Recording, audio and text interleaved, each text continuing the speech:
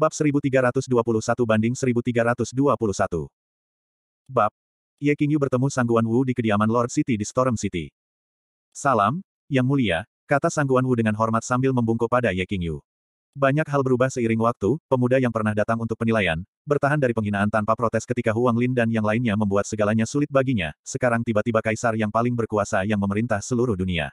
Kenaikannya ke kekuasaan begitu cepat sehingga tampaknya sulit dipercaya. Tidak perlu berdiri di atas upacara, kata Ye Qingyu. Jika bukan karena bantuan Sangguan Wu saat itu, misi utusan Heaven Wastelen tidak akan pernah bisa lulus penilaian dengan lancar. Pengawas kediaman Tuan Kota adalah orang yang lurus dan lurus, jadi Ye Qingyu sangat berterima kasih padanya. Ye Qingyu bertemu dengan Lord City of Storm City saat ini di kediaman Lord City. Dia adalah keturunan Storm Martial Emperor sebelumnya dan seorang pria parubaya yang tampak seperti dia berusia 30-an. Dia memancarkan aura khusus, mirip dengan apa yang dihasilkan pertapa kuno. Namun, ia tidak dapat meniru masa kejayaan leluhurnya, kultivasinya mungkin berada di ranah Kaisar Kuasi dan dia hanya berhasil maju karena gelombang kekuatan universal baru-baru ini. Mereka berbicara dengan baik. Tuan Kota juga menyambut kedatangan Ye Qingyu dengan sangat serius. Saat itu, aku telah bertemu dengan orang yang sangat terampil ketika aku berada di sel air, Ye Qingyu berbagi pertemuan ajaib yang dia miliki ketika dia berpartisipasi dalam penilaian, karena dia merasa bahwa dia harus mengungkapkan rahasia Storm. Kota untuk penguasa kota. Apakah hal seperti itu benar-benar terjadi? Tuan kota bertanya dengan heran. Jelas, dia tidak tahu bahwa ada dunia lain di bawah sel air dan bahwa orang yang sangat terampil yang bukan dari dunia ini hidup di dalamnya. Selain itu, orang yang sangat terampil ini mungkin hanya leluhurnya. Segera, semua orang tiba di sel air. Ye Qingyu menggunakan akal surgawi untuk menyapu sekeliling dan dengan cepat menemukan gua air yang jauh di bawah air. Ikuti aku, katanya. Dia menggunakan indera surgawi untuk memisahkan air. Penguasa kota dan yang lainnya mengikutinya ke gua air. Aku tidak pernah menyadari bahwa dunia air berada tepat di bawah sel air sepanjang waktu. Aku tidak tahu bahwa tempat seperti itu ada di dalam Storm City sendiri, Sangguan Wu berseru kaget. Apakah ini tempat rahasia yang dirancang oleh Storm Martial Emperor di Storm City pada masa itu? Ada dunia air yang luas dan tak terbatas di bawah gua air. Ye Qingyu mengerahkan Kaisar Kinya untuk membagi air di sekitarnya dan semua orang mengikuti di belakangnya. Segera, mereka melihat lingkaran cahaya di depan, mereka hampir tidak bisa melihat sosok pendukung di kedalaman wilayah air. Itu adalah kekuatan yang sangat mereka kenal, kekuatan badai.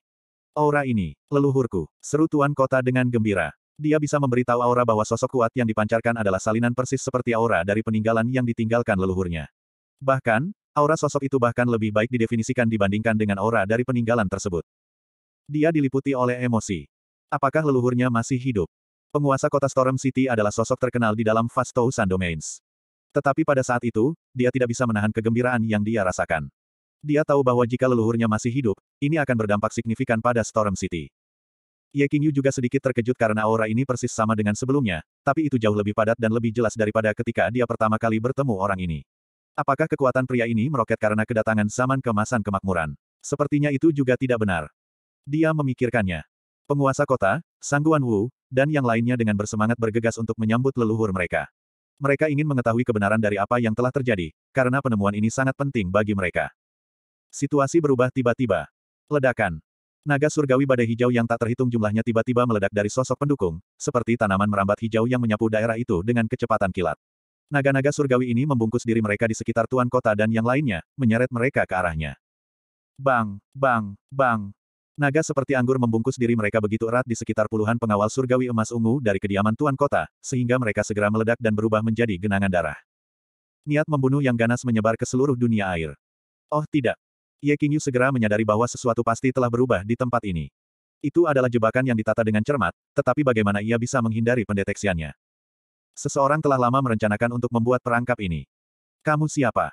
Dia memanggil pedangnya yang beredar di dunia air dengan satu pikiran dan sinar yang tak terhitung dari kemegahan perak yang tak terhancurkan meluncur ke arah badai naga surgawi, ketika dia berusaha menyelamatkan orang-orang itu. Hahaha, terima kasih banyak karena membawa keturunan Storm Martial Emperor di sini, Brother King Yu. Aku akan bisa mengisi celah tubuh badai setelah aku mendapatkan darah keturunannya. Hahaha, sebuah suara yang akrab terdengar keluar. Itu tidak lain adalah Jiang Xiaohan. Seolah-olah aktivitas Ki misterius telah diaktifkan, seluruh wilayah air tampak menggelembung dan mendidih saat suaranya bergema. Lebih banyak naga surgawi badai hijau muncul, mereka melolong ketika mereka mengisi dalam jumlah besar sehingga mereka menutupi seluruh wilayah air. Mereka berhasil memblokir kemauan dan kemegahan pedangnya, dan bahkan memiliki cukup sisa kekuatan untuk menuduhnya. Ada jalan ke surga tetapi kamu menolak jalan ini. Sebaliknya, kamu memilih untuk memaksa masuk ke neraka ketika tidak ada gerbang di tempat pertama, kata Ye Qingyu saat niat membunuh muncul di matanya. Kaisar Ki beredar di dalam tubuhnya. Ketika ia menarik dan melepaskan Kaisar Ki-nya, seluruh wilayah air tampak berkontraksi dan melebar hingga ke jantungnya, sementara ruang tiba-tiba meluas, kekuatan mengerikan menyapu untuk langsung menghancurkan semua naga surgawi badai hijau. Pada saat yang sama, dia telah mencapai sosok kuat dan jari telunjuk dan jari tengahnya menunjuk seperti pedang ke arahnya. Pedangnya akan merobek udara dan membunuh segala yang ada di jalannya. Haha, Brother King Yu, kamu masih kejam dan tidak berperasaan seperti sebelumnya. Bukankah kita sudah merencanakan ini bersama-sama? Tidakkah kamu setuju untuk menipu City Lord of Storm City, agar dia datang ke tempat ini dan membantuku dalam mengekstrak esensi darahnya untuk memperbaiki cacat terakhir di tubuh badai? Haha, mengapa kamu begitu marah? Dia berkata. Kemegahan dari sosok kuat itu memudar, untuk mengungkapkan tubuh langsing Jiang Xiaohan yang terbungkus jubah merah. Dia belum melihatnya selama beberapa tahun tetapi wanita kejam ini menjadi lebih cantik dari sebelumnya. Dia memiliki pesona tak tertandingi tentang dirinya, setiap kata, setiap lirikan, dan setiap senyuman membawa daya pikat yang menakutkan yang bisa memikat hampir setiap makhluk. Dia juga berkali-kali lebih kuat dari sebelumnya. Desir, desir, desir. Pedangnya Ki menyapu langit, memangkas naga surgawi badai hijau yang tak terhitung jumlahnya, dan berhasil menyelamatkan beberapa ahli dari Storm City yang datang bersamanya ke dunia air, tetapi Sangguan Wu dan penguasa kota masih di tangan Jiang Xiaohan. Ada energi aneh di alam air yang berhasil mengerahkan kekuatan penekan yang menakutkan atas kekuatan Ye Qingyu.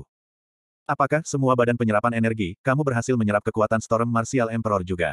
Ye Qingyu bertanya dengan cemberut. Dia menyadari bahwa Jiang Xiaohan sudah sepenuhnya siap untuk kedatangannya, dan telah menggunakan semacam formasi untuk memblokir akal surgawi dari mendeteksi sesuatu yang salah. Inilah sebabnya dia tidak berhasil mendeteksi aktivitas mencurigakan, bahkan ketika dia begitu dekat dengannya. Dia dengan demikian berhasil mendapatkan di atas angin, dan memanfaatkan kekuatan formasi dalam ranah air untuk mencegah Ye Qingyu menyelamatkan Tuan Kota dan Sangguan Wu. Meskipun dia terkejut ketika mendengar deskripsi Bai Yuking tentang semua tubuh penyerapan energi, dia tidak terlalu memikirkannya. Dia tidak berharap kekuatannya mencapai ketinggian yang mengerikan. Dia mungkin hanya kumis dari mencapai kerajaan Kaisar bela diri dan dia jauh lebih kuat dari Bai Yuking. Jiang Xiaohan membeku sesaat, sebelum dia dengan cepat menyadari apa yang terjadi dan berkata, Haha, kamu pasti bertemu Bai Yuking. Dia tahu bahwa Bai Yuking pasti memberitahu Ye King Yu rahasianya. Tidak masalah apakah kamu sudah menemukan rahasiaku atau tidak, karena semua energi serapan tubuh adalah tipe tubuh surgawi yang paling kuat di dunia, dan sudah seperti itu sejak zaman kuno. Aku bisa menyerap semua hal-hal dan setelah melahap apa pun hanya sekali, aku akan bisa mendapatkan kekuatan dari semua tipe tubuh, serta misteri yang dikandungnya. Aku telah melahap kaisar marsial yang tak terhitung jumlahnya, jadi apakah penting bagiku bahwa Storm Martial Emperor adalah bagian dari tiga penguasa dan lima kaisar? Aku masih bisa mendapatkan kekuatannya, hehehe. Dia menatap Ye Qingyu dengan menantang, dan tampaknya tidak bingung bahkan di depan kaisar besar yang tiada taranya ini. Dia percaya pada kemampuannya sendiri dan yakin bahwa rencananya akan berhasil. Kekuatan hijau hukum badai melonjak dari tubuhnya, berubah menjadi tentakel yang seperti naga surgawi yang tak terhitung jumlahnya berputar-putar di sekitarnya. Mereka membungkus diri dengan erat di sekitar Tuan Kota dan Sangguan Wu, mengendalikan mereka seperti boneka. Kedua pria ini juga ahli yang sangat terampil, tetapi mereka menjadi benar-benar tak berdaya ketika tentakel melilit diri mereka.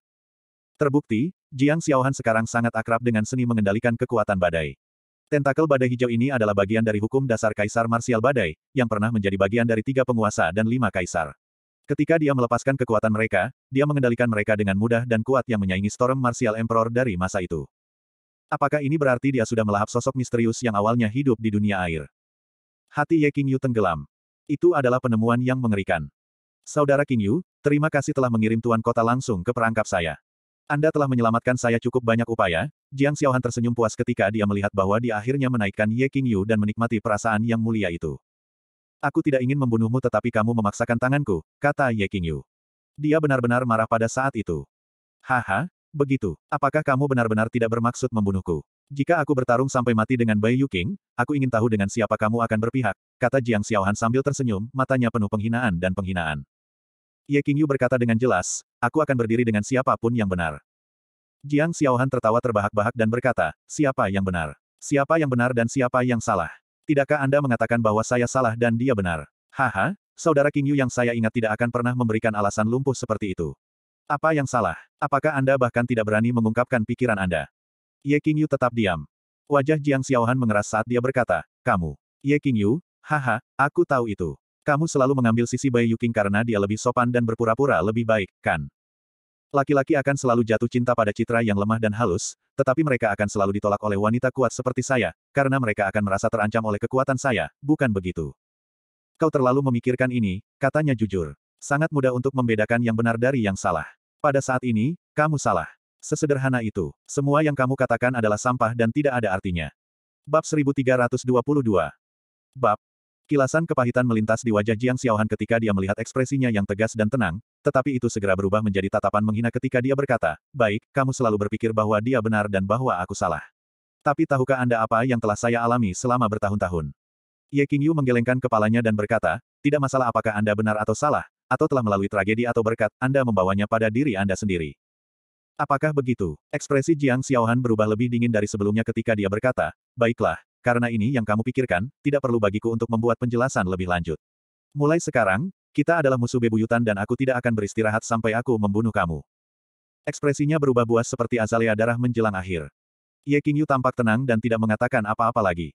Serahkan Tuan Kota dan Tuan Sangguan Wu, jika kamu melakukannya, aku akan mengampunimu sekali ini dan membiarkanmu pergi, katanya. Saat aktivitas kinya beredar di sekelilingnya, seluruh wilayah air tampaknya telah berubah menjadi dunia pedang, pedang yang sulit dipahami akan beredar di sekitar kerajaan, seolah menunggu perintah untuk mengisi daya. Dia bisa melepaskan kehendak pedang yang menakutkan ini dengan satu pikiran, itu akan cukup untuk menghancurkan segalanya, termasuk naga surgawi badai hijau. Haha, Ye Qingyu, bukankah kamu pikir kamu meremehkan aku? Tidak ada yang tahu siapa yang akan keluar hidup-hidup, ekspresi Jiang Xiaohan dingin dan sengit, dan pesona mempesona perlahan-lahan memudar, menjadi digantikan oleh tekad yang kejam saat dia berkata, penjara badai, jebak. Saat suaranya menghilang, lusinan naga surgawi badai hijau menerobos ke dalam tubuh Tuan Kota dan Sangguan Wu dan sepenuhnya menyegel kultivasi mereka. Mereka sekarang sepenuhnya bergantung pada belas kasihnya. Membunuh. Kemudian, sosoknya berkedip ketika dia meluncurkan serangannya. Ye Qingyu memanggil sepuluh ribu pedang yang muncul di dunia air dengan satu pikiran, dan pedang ini dibebankan ke Jiang Xiaohan. Ini adalah tahap tertinggi dari mantra pedang hidup yang telah dia pahami dan fenomena aneh terjadi, seolah-olah sepuluh ribu pedang itu kembali ke leluhur mereka, dan mereka segera mengelilingi Jiang Xiaohan. Pada saat yang sama, ia menggunakan teknik Void Walk untuk tiba di sebelah City Lord dan Sangguan Wu, kemudian mencoba meraih pundak mereka. Prioritas pertamanya adalah menyelamatkan mereka berdua. Menghancurkan. Suara yang tajam terdengar dan Jiang Xiaohan berhasil muncul dari gelombang serangan sepuluh ribu pedang. Dia memancarkan kekuatan misterius pemusnahan yang berhasil menghancurkan dan mempertahankan kehendak pedang-pedang kehidupan. Figur City Lord dan Sangguan Wu berkedip ketika mereka menghilang dan muncul kembali di tempat lain. Melodi angin tidak berbentuk dan tidak berbentuk. Kamu tidak akan pernah bisa menyelamatkannya asalkan disegel oleh kekuatan badai, katanya sambil tertawa dingin. Api membakar dengan riang di sekitarnya, lalu berubah menjadi baju besi berapi-api yang menonjolkan sosok cantiknya, pinggang dan perutnya yang adil dan ramping, dan kakinya yang panjang dan ramping. Dia tampak seperti dewi perang yang muncul dari api. Ye Qingyu harus mengakui bahwa Jiang Xiaohan memang lawan yang layak. Dia menunjukkan kekuatan, semua energi serapan tubuh, saat dia membanting tinju yang berisi kekuatan menakutkan hukum Dao. Serangannya membuat langit bergemuruh dan seluruh Storm City bergetar hebat. Ekspresi aneh terlintas di wajah Ye Qingyu saat dia juga membalas dengan pukulan. Ledakan. Seluruh wilayah air tampak terbelah dan air banjir hijau melonjak. Niat membunuh yang menakutkan terkandung dalam setiap tetesan air, jika seorang kaisar kuasi jatuh ke dunia air ini, dia akan langsung berubah menjadi genangan darah sebelum menghilang ke ketiadaan. Ye Qingyu merasakan gemetaran hebat mengalir di lengannya. Sinar cahaya pedang yang tak terhitung jumlahnya merobek-robek dunia air dan mengubahnya menjadi dunia cahaya pedang yang menghalangi niat membunuh dari dunia air, melindungi Purple Divine Divine Guard dari Storm City dari kekuatan penghancur dunia air. Gemuruh, gemuruh, gemuruh. Jiang Xiaohan mengirim banyak sekali pukulan. Tubuhnya yang mungil dan ramping tampaknya mengandung kekuatan destruktif, setiap pukulan yang dia kirimkan menyebabkan langit bergemuruh dan bergetar. Jika bukan karena tanda dan formasi bidang air yang ditinggalkan oleh Storm Martial Emperor, itu akan hancur total. Ye Qingyu membalas dengan pukulan, suara dentumannya terasa seolah-olah langit akan runtuh, saat ia merobek dunia air. Ye Qingyu bisa merasakan bahwa ada kekuatan destruktif yang menakutkan terkandung dalam pukulannya, mencoba untuk bergerak-gerak dan memasuki tubuhnya seperti belatung. Ini adalah kekuatan tubuh Sein Surgawi. Ye Qingyu berseru kaget. Dia dengan cepat mengingat deskripsi yang pernah dia baca dari istana klan Ye. Tubuh Sein Surgawi adalah yang terkuat dari tiga tubuh tempur dari zaman Viengot. Ia memiliki kekuatan untuk menghancurkan semua bentuk kehidupan primitif dari awal waktu dengan kekuatan fisiknya.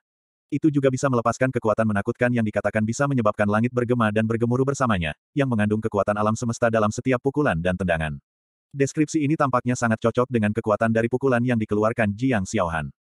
Haha, Ye Qingyu, kamu sepertinya tahu banyak tentang aku. Kurasa pelacur Bai Yuking telah memberimu sedikit informasi, kata Jiang Xiaohan dengan senyum dingin. Tubuhnya mengeluarkan serangkaian dentuman dan gemuruh, seolah-olah langit bergetar bersamanya, dan sinar cahaya suci yang tak terhitung jumlahnya meledak dari tubuhnya untuk menjadi bagian dari kekuatan pukulannya. Ini menghasilkan dao besar yang menghancurkan Ye Qingyu, saat kekuatan yang luar biasa dan tak terkendali meledak dari pukulannya. Itu adalah tanda tubuh Sein Surgawi pada tahap Grand Maturity. Aku tidak berpikir bahwa benda suci surgawi masih ada di masa sekarang. Sayang sekali, Ye Qingyu berkata sambil menghela nafas. Jenis Heavenly Saint Body dikatakan menyaingi kekuatan Kaisar kuno, pada saat mencapai tahap kematangan agung. Itu juga dikatakan sangat kuat. Jika tipe tubuh seperti itu telah dipersiapkan dengan hati-hati, itu pasti akan menjadi pilar kuat dari dunia bela diri formasi. Sayangnya, dia yakin bahwa pemilik tubuh Saint Surgawi telah dilahap dan diserap oleh Jiang Xiaohan. Inilah sebabnya Jiang Xiaohan memiliki kekuatan tipe tubuh Surgawi Saint. Mengapa kamu bertindak seperti itu sangat disayangkan. Hanya aku yang benar-benar akan dapat melepaskan kekuatan tubuh Saint Surgawi, meniru kekuatan kuat yang bisa ditampilkan, kata Jiang Xiaohan dan tertawa dengan gila-gilaan. Ye Qingyu terus mengirim pukulan dalam upaya untuk memblokir serangannya. Ketika mereka berjuang, dia merasakan kekuatan yang luar biasa dari tubuh Saint Surgawi bahkan lebih tajam. Ketika dia merasakan kekuatan yang luar biasa dari tubuh Saint Surgawi, dia bahkan lebih terkejut dengan kekuatan menakutkan dari semua tubuh penyerapan energi karena itu bahkan dapat mengasimilasi kekuatan tubuh Saint Surgawi. Ayo akhiri ini sekarang. Ye Qingyu berangsur-angsur merasakan dan memahami beberapa misteri tubuh suci surgawi, jadi dia tidak lagi mencoba bertarung langsung melawannya. Sebagai gantinya, saat dia menggunakan jalan surgawi tanpa batas, kekuatannya melonjak dan dia mengirimkan pukulan yang meledak dengan aura cahaya. Sinar kepalan tangannya seperti pedang cahaya apokaliptik. Itu adalah kombinasi dari kekuatan fisiknya dan kehendak pedang-pedang kehidupan. Ledakan. Jiang Xiaohan berteriak ketika dia dikirim terbang mundur. Tinju kanannya hancur hingga siku dan kulitnya pecah, memperlihatkan tulang dan dagingnya di bawahnya. Darah berceceran di mana-mana, tetapi dia tidak tampak bingung sama sekali. Haha, Ye Qingyu, kamu belum mengecewakanku. Aku melihat bahwa tubuh suci langitku juga tidak cocok dengan konstitusi tubuhmu. Jika aku melahapmu dan menggabungkan kekuatanmu dengan misteri inti dari tiga tubuh suci kuno, aku akan memiliki tubuh yang tidak bisa dihancurkan dan abadi, hahaha. Dia tertawa gila. Tubuh surgawi yang tidak bisa dihancurkan. Auranya segera berubah, seolah-olah dia telah menjadi orang yang sama sekali berbeda, memancarkan aura yang sama sekali berbeda. Ki kuno dan tak terbatas berputar di sekelilingnya, bersama dengan kidarah yang tidak bisa dijelaskan dengan kata-kata. Dia sepertinya telah berubah menjadi dewa kuno dan abadi. Ye Qingyu, aku sudah melahap dan menyerap lebih dari satu tubuh surgawi dan suci. Jiang Xiaohan berkata dengan tawa dingin. Usahanya selama beberapa tahun terakhir tidak sia-sia. Dia juga menyerap tubuh surgawi yang tidak bisa dihancurkan di samping tubuh Sein surgawi. Ini adalah tipe tubuh yang dikenal sangat resisten dan memiliki sifat penyembuhan diri tanpa batas. Jadi, bahkan jika dia dihancurkan menjadi berkeping-keping, dia akan dapat pulih dalam sekejap. Lebih jauh lagi, tipe tubuh itu tidak dapat dikorosi oleh kekuatan eksternal, dan juga dikenal sebagai salah satu tipe tubuh tertinggi dari zaman purba. Saat dia tertawa, lengan kanannya yang patah segera tumbuh kembali dan tampak seperti baru. Ye Qingyu sedikit mengernyit. Dia tahu seberapa kuat pukulannya sebelumnya. Dia juga tahu bahwa bahkan Kaisar bela diri akan terluka oleh serangan sebelumnya. Selain itu, dia telah mengepalkan tinjunya dengan pedang, setelah itu memasuki tubuhnya, akan membutuhkan waktu setidaknya 30 hingga 50 tahun untuk pulih. Namun, Jiang Xiaohan telah berhasil pulih hampir secara instan. Dia juga pernah membaca beberapa informasi tentang tipe tubuh itu dari beberapa buku dan catatan kuno. Dia seharusnya tahu bahwa kekuatan tipe tubuh seperti itu akan menentang semua logika. Ye Qingyu, apakah kamu ingin tahu apa yang akan terjadi jika aku menggabungkan kekuatan tubuh surgawi yang tidak bisa dihancurkan dengan tubuh Sein surgawi? Jiang Xiaohan bertanya sambil tertawa dengan kejam. Kamu akan menjadi orang pertama yang mengalami kekuatan dari dua tipe tubuh ini bersama-sama, jadi aku harap kamu tidak akan mengecewakanku. Sebelum suaranya memudar, dia mengirim satu pukulan lagi. Pertempuran telah dimulai dan kekuatan tempur Ye Qingyu melonjak saat dia mengerahkan teknik jalan surgawi tanpa batasnya. Gemuruh, gemuruh, gemuruh. Seluruh wilayah air tampaknya telah berubah menjadi pemandangan dari pembantaian neraka, karena mulai menggelembung dan mendidih dengan panik. Jiang Xiaohan terus mengalami serangkaian cedera dan tubuh Sein surgawinya akhirnya tidak tahan menanggung serangannya, tetapi sifat penyembuhan diri dari tubuh surgawi indestructible berarti bahwa ia akan dapat menyembuhkan dirinya sendiri secara instan, tidak peduli seberapa seriusnya luka-lukanya adalah. Bahkan jika tubuhnya dihancurkan menjadi kabut darah, dia akan dapat merekonstruksi tubuh baru secara instan, tanpa melelahkan kidarahnya. Ini benar-benar berbeda dari bagaimana kaisar bela diri biasa akan menyembuhkan dirinya sendiri. Dia praktis tak terkalahkan setelah dia menggabungkan tubuh Sein Surgawi dan tubuh Surgawi yang tidak bisa dihancurkan bersama-sama. Pedang, Ye Qingyu mengulurkan tangannya ke dalam kekosongan dan pedang peminum darah muncul di tangannya. Aura dari dunia pedang di sekitar Ye Qingyu bangkit, dan pedang akan dari Life Sword menjadi lebih menusuk. Kemudian, dengan putaran tiba-tiba, seluruh wilayah air ditutupi oleh pedang, tubuh Jiang Xiaohan disayat menjadi darah dan abu ketika sepuluh ribu sinar kemegahan pedang menyerangnya. Menyerap. Pedang peminum darah melepaskan kekuatannya. Ye Qingyu menekan tubuh pedang saat dia bersiap untuk menyerap darah dan abu yang terbang di langit ke pedang peminum darah. Ye Qingyu, kau pria yang kejam, suara Jiang Xiaohan terdengar. Darah dan abu yang memenuhi langit lepas dari kendali kekuatan hukum pedang peminum darah. Ada kilatan cahaya, lalu tubuh baru muncul seribu meter seperti hantu. Itu tidak lain adalah Jiang Xiaohan. Ye Qingyu tetap diam. Dia sudah siap untuk membunuhnya hari ini dan tidak akan menunjukkan belas kasihan padanya karena dia adalah seorang wanita. Semakin kuat Jiang Xiaohan menjadi, semakin dia tidak mampu menghindarkannya. Wanita ini sangat kejam dan jahat, telah membunuh begitu banyak orang tak berdosa.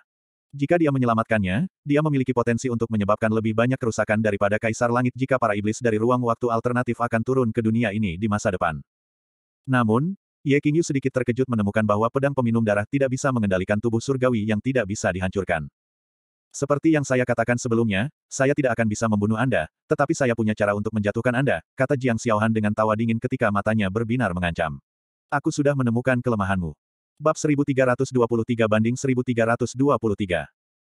Bab. Apakah begitu? Ye Qingyu tidak akan membiarkan kata-katanya mempengaruhi dirinya. Kenapa kamu tidak mencobanya? Mari kita lihat apakah kamu benar-benar bisa mengalahkanku dengan menyerang kelemahanku, kata Ye Qingyu sambil sedikit mengangkat tangan kanannya, seolah-olah dia sedang mengangkat sebuah menara dan Cloud Top Cauldron berputar di tangannya. Itu berkembang dengan cepat dan akhirnya tumbuh hingga seukuran kuali raksasa ketika melayang di atas telapak tangan kanannya. Aura artefak tertinggi beredar di sekitarnya. Ekspresi Jiang Xiaohan berubah. Setelah kuali raksasa muncul, semua formasi dan kekuatan hukum di alam air diam-diam ditekan, bahkan kekuatan dalam tubuh surgawi dan sainnya mulai beredar lebih lambat dari sebelumnya. Dia mengenali kuali ini, karena ini bukan pertama kalinya Ye Qingyu memanggilnya untuk membalikkan meja. Namun, ketika dia menyadari bahwa kuali itu tampaknya telah menjadi berkali-kali lebih kuat dari sebelumnya, dia sangat heran. Kuali telah menjadi jauh lebih kuat daripada yang bisa dia bayangkan. Satu-satunya penjelasan untuk ini adalah bahwa kuali itu tidak dibuat oleh Ye Qingyu, yang telah menjadi artefak yang luar biasa sejak awal. Saat Ye Qingyu tumbuh semakin kuat, potensi sebenarnya dari kuali secara bertahap terungkap. Apakah lonjakan kekuatan Ye Qingyu yang luar biasa terkait dengan kuali ini? Segala macam ide terlintas di benaknya dan dia merasakan kesadaran menyadarinya. Menekan. Saat Ye Qingyu mengerahkan 108 teknik kuno karakter misterius, Cloud Top Cauldron berputar dan berkembang, dan segera itu begitu besar sehingga menyelimuti seluruh wilayah air. Ranah air yang seperti lautan yang melimpah tiba-tiba tampak sekecil sebutir biji-bijian di bawah kuali. Kemudian, Kekuatan melahap yang mengerikan meledak dari kuali, seolah-olah berusaha untuk melahap seluruh alam semesta secara keseluruhan. Oh tidak, Jiang Xiaohan menjadi pucat. Dia menyadari bahwa dia benar-benar tidak dapat mengendalikan gerakannya di bawah kekuatan melahap mengerikan dari Cloud Top Cauldron. Dia dikirim terbang ke mulut kuali melawan kehendaknya, seperti sepotong jerami yang disapu badai. Dia dipenuhi teror ketika dia menyaksikan mulut kuali yang gelap semakin dekat, itu hitam seperti lubang hitam di ruang angkasa. Dia bisa merasakan kematian berbaring menunggunya di kedalaman kuali dan tahu bahwa dia pasti akan mati jika dia dihisap. Ah, dia melolong dan berjuang dengan sekuat tenaga. Sinar cahaya surgawi dan suci yang tak terhitung jumlahnya meledak dari tubuhnya. Kemudian, rantai yang kelihatan terbentuk oleh kekuatan hukum melonjak dengan panik, seperti tentakel yang tak terhitung jumlahnya yang menggali diri mereka sendiri ke alam air dan kekosongan, ketika ia mencoba menjepit tubuhnya di tempat. Dua sosok hantu dari iblis muncul di belakangnya, mengeluarkan geraman yang menghancurkan bumi yang mengaktifkan kekuatan surga dan tiba-tiba membuat api iblis muncul di seluruh permukaan air, seolah-olah iblis kuno dan primitif kembali hidup. Jiang Xiaohan telah melepaskan semua kekuatan yang dia miliki untuk membebaskan diri dari kekuatan melahap Cloud Top Cauldron. Perjuanganmu tidak ada gunanya, katanya sederhana. Dia mengulurkan tangan kirinya, di mana nyala api pedang perak padat akan berkedip di ujung jari telunjuknya seperti tinta perak, dan dia menggunakan jarinya untuk mengukir formasi di kekosongan. Ini adalah formasi, penekan, dari 108 karakter kuno. Karena dia melihat evolusi dan pengembangan 108 karakter kuno dari distrik ke-18 abis, penguasaannya terhadap 108 karakter kuno telah mencapai ketinggian yang belum pernah terjadi sebelumnya, dia bisa memobilisasi kekuatan alam semesta dengan setiap pukulan yang dia lakukan. Saat dia selesai mengukir kata, tekan, ke dalam kekosongan, seolah-olah karakter ini telah diilhami dengan semua kekuatan di alam semesta. Pergi. Dia mendorong karakter ini dengan telapak tangannya setelah dia menulisnya, dan itu melesat seperti meteor perak untuk mendarat di atas Cloud Top Cauldron. Berdengung, berdengung, berdengung. Cloud Top Cauldron bergetar hebat saat itu.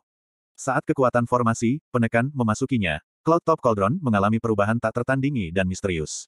Kabut kacau menggelegak dari sisi mulut kuali, nebula dan bintang-bintang samar-samar bisa dilihat di dalam mulut kuali. Bintang-bintang dan rasi bintang mengorbit di dalam dan nebula melonjak seolah-olah alam semesta baru telah terbentuk di dalam Cloud Top Cauldron. Jiang Xiaohan segera merasakan kekuatannya dengan cepat memudar seperti patung pasir yang tersapu angin. Dua sosok hantu dari Dewi Jahat di belakangnya adalah jiwa-jiwa dari tubuh surgawi yang tidak bisa dihancurkan dan tubuh Sein surgawi tetapi mereka tidak dapat mempertahankan diri melawan kekuatan yang muncul dari Cloud Top Cauldron. Mereka mengeluarkan geraman kesal, karena mereka akhirnya diparut menjadi gumpalan cahaya iblis oleh kekuatan melahap yang mengerikan, menghilang ke kedalaman Cloud Top Cauldron. Tidak, Jiang Xiaohan berteriak kaget dan marah. Matanya ganas dan gila, seolah-olah darah akan menetes keluar dari matanya. Pada saat itu, dia menyerupai setan yang gila. Ye Qingyu, bagaimana kamu bisa begitu kejam? Dia menatap Ye Qingyu seolah-olah dia sedang melihat kekasih yang telah mengkhianatinya, tapi ekspresi Ye Qingyu tetap tenang sepanjang. Kamu dulu orang yang sangat cantik. Kenapa kamu harus pergi ke sisi gelap? Hari ini, saatnya untuk mengakhiri semua dendam dan permusuhan di antara kita, katanya dengan tenang. Suara Dao yang kacau dan cepat terdengar dari kedalaman Cloud Top Cauldron, yang membuatnya tampak lebih mengerikan. Rantai terbentuk dari kekuatan hukum, yang telah melonjak dari tubuh Jiang Xiaohan, tercabik-cabik, mereka tidak lagi bisa memeluknya dengan mantap di alam air dan di kekosongan. Naga surgawi badai hijau juga terkoyak oleh kekuatan melahap dari Cloud Top Cauldron. Kemudian, Jiang Xiaohan diseret semakin dekat ke Cloud Top Cauldron. Ye Qingyu, apakah kamu benar-benar bermaksud membunuhku? Jiang Xiaohan bertanya saat dia menatap lurus ke arahnya. Ye Qingyu bertemu dengan tatapannya dan berkata, setiap gigitan dan setiap tegukan sudah ditakdirkan. Kamu harus menerima konsekuensi dari tindakanmu. Ye Qingyu tidak merasa seperti berutang apa pun padanya. Dia tidak pernah merasa seperti telah mengecewakannya. Begitukah? Kamu berbicara tentang karma tetapi apakah kamu tahu apa yang membuatku menjadi diriku hari ini? Jiang Xiaohan tiba-tiba berhenti berjuang dan berkata dengan tawa pahit. Aku menjadi diriku hari ini karena kamu. Karena aku, Ye Qingyu berkata dengan senyum dingin. Kamu sendiri yang harus disalahkan atas tindakanmu, jadi mengapa kamu menyalahkan orang lain? Apakah kamu benar-benar tidak tahu atau kamu pura-pura tidak tahu?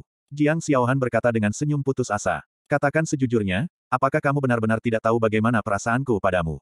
Ye Qingyu menggelengkan kepalanya dan berkata, aku hanya bisa melihat niat neraka di dalam dirimu dan tidak ada empati atau kebaikan. Yah, sangat baik. Ye Qingyu, kamu bukan es batu atau cabang layu. Aku tahu kamu telah menunjukkan belas kasihan orang lain, tetapi mengapa kamu harus begitu hati terhadap aku? Baik, aku akan mengingat ini, mata Jiang Xiaohan dipenuhi dengan keputusasaan dan kemarahan saat dia berbicara. Emosinya begitu kuat sehingga bisa membuat rambut seseorang berdiri, ekspresinya yang keras dan kejam akan memiliki kesan abadi. Aku akan memperlakukan orang lain dengan cara yang sama seperti mereka memperlakukanku, kata Ye Qingyu. Dia bukan pria yang berhati dingin dan dia juga memiliki firasat tentang perasaan Jiang Xiaohan untuknya, tetapi dia tidak tersentuh oleh perasaannya terhadapnya, karena dia telah memilih jalan hidupnya sendiri. Selain itu, dia telah jatuh begitu jauh ke sisi gelap sehingga dia tidak bisa membuat dirinya merasa kasihan padanya. Berdengung, berdengung, berdengung. Cloud Top Cauldron bergetar. Pada akhirnya, Jiang Xiaohan tersedot ke dalam Cloud Top Cauldron. Cloud Top Cauldron berputar perlahan sebelum berubah menjadi ukuran kepalan tangan dan mendarat di tengah telapak tangannya. Kemudian, secara bertahap berhenti berputar. Ye Qingyu tidak berhenti untuk mengintip Cloud Top Cauldron, tapi dia segera menggunakan teknik Void Walk untuk muncul di samping penguasa kota dan Sangguan Wu. Sinar pedang Qi yang tak terhitung jumlahnya meluncur keluar, menebas naga hijau badai surgawi yang menahan mereka menjadi sandera. Pada saat yang sama, pedangnya akan berubah menjadi hujan yang masuk ke tubuh mereka. Sekarang Jiang Xiaohan ditahan di dalam Cloud Top Cauldron, dia tidak lagi bisa mengendalikan kekuatan penyegelan yang dia tanam di dalam tubuh mereka. Dia benar-benar terjebak dalam kuali perunggu, jadi dia tidak bisa mengaktifkan kekuatan pembatas di dalam tubuh Lord City dan Sangguan Wu. Dia akrab dengan kekuatan formasi seni terbatas dan juga, dia telah menerima yayasan daunnya dari Storm Martial Emperor, jadi itu tidak lama sebelum dia berhasil membebaskan mereka berdua dari kekuatan terbatas dalam tubuh mereka. Terima kasih banyak, Kaisar Besar Ye Qingyu. Terima kasih banyak, Kaisar Besar.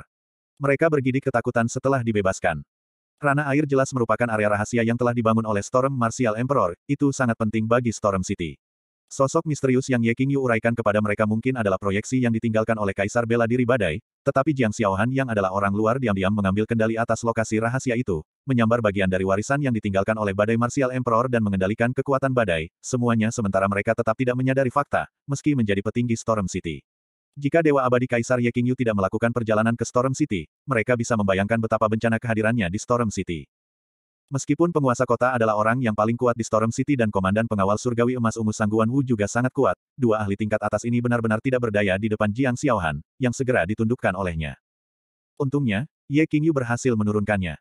Setelah Ye Qingyu memastikan bahwa ranah air itu aman, juga menghancurkan formasi yang diletakkan Jiang Xiaohan, penguasa kota memerintahkan Sangguan Wu untuk membersihkan medan perang sementara ia mengantar Ye Qingyu keluar dari ranah air.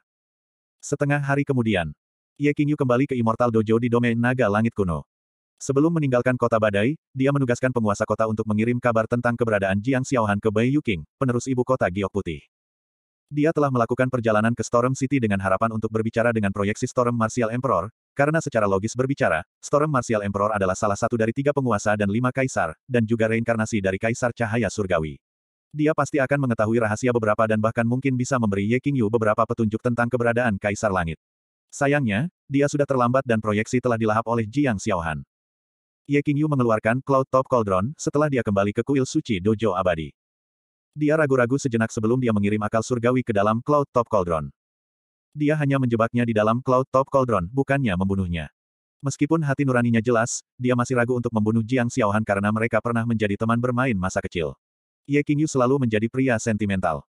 Kuharap aku bisa menyimpannya di dalam selamanya, renungnya ketika memasuki ruang tempat dia menyimpan tawanannya. Namun, dia heran dengan apa yang dia lihat saat dia masuk. Apa yang terjadi? Bab 1324 kamu sudah mengingat aku.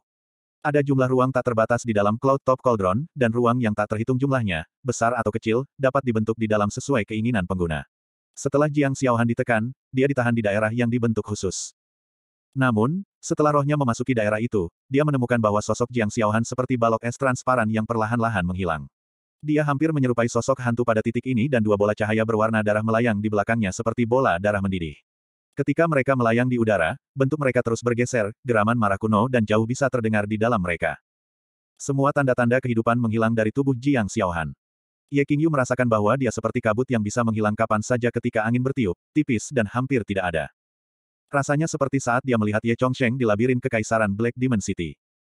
Jiang Xiaohan, yang tubuhnya sudah hampir memudar menjadi ketiadaan, tiba-tiba mendongak dari posisi bersila di lantai ketika dia merasakan kehadirannya.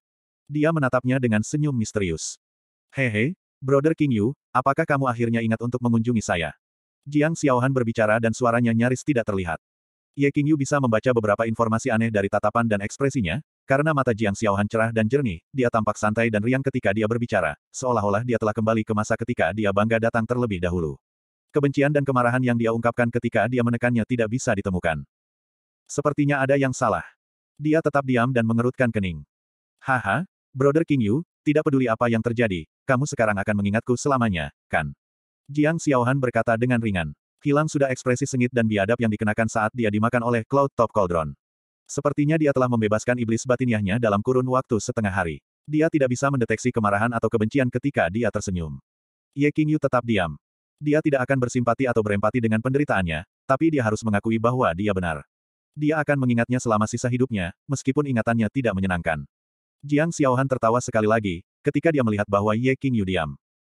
Tawar yangnya terdengar seperti lagu-lagu yang dinyanyikan oleh anak-anak pohon sylph ketika mereka melintasi hutan lembah gunung yang menguning.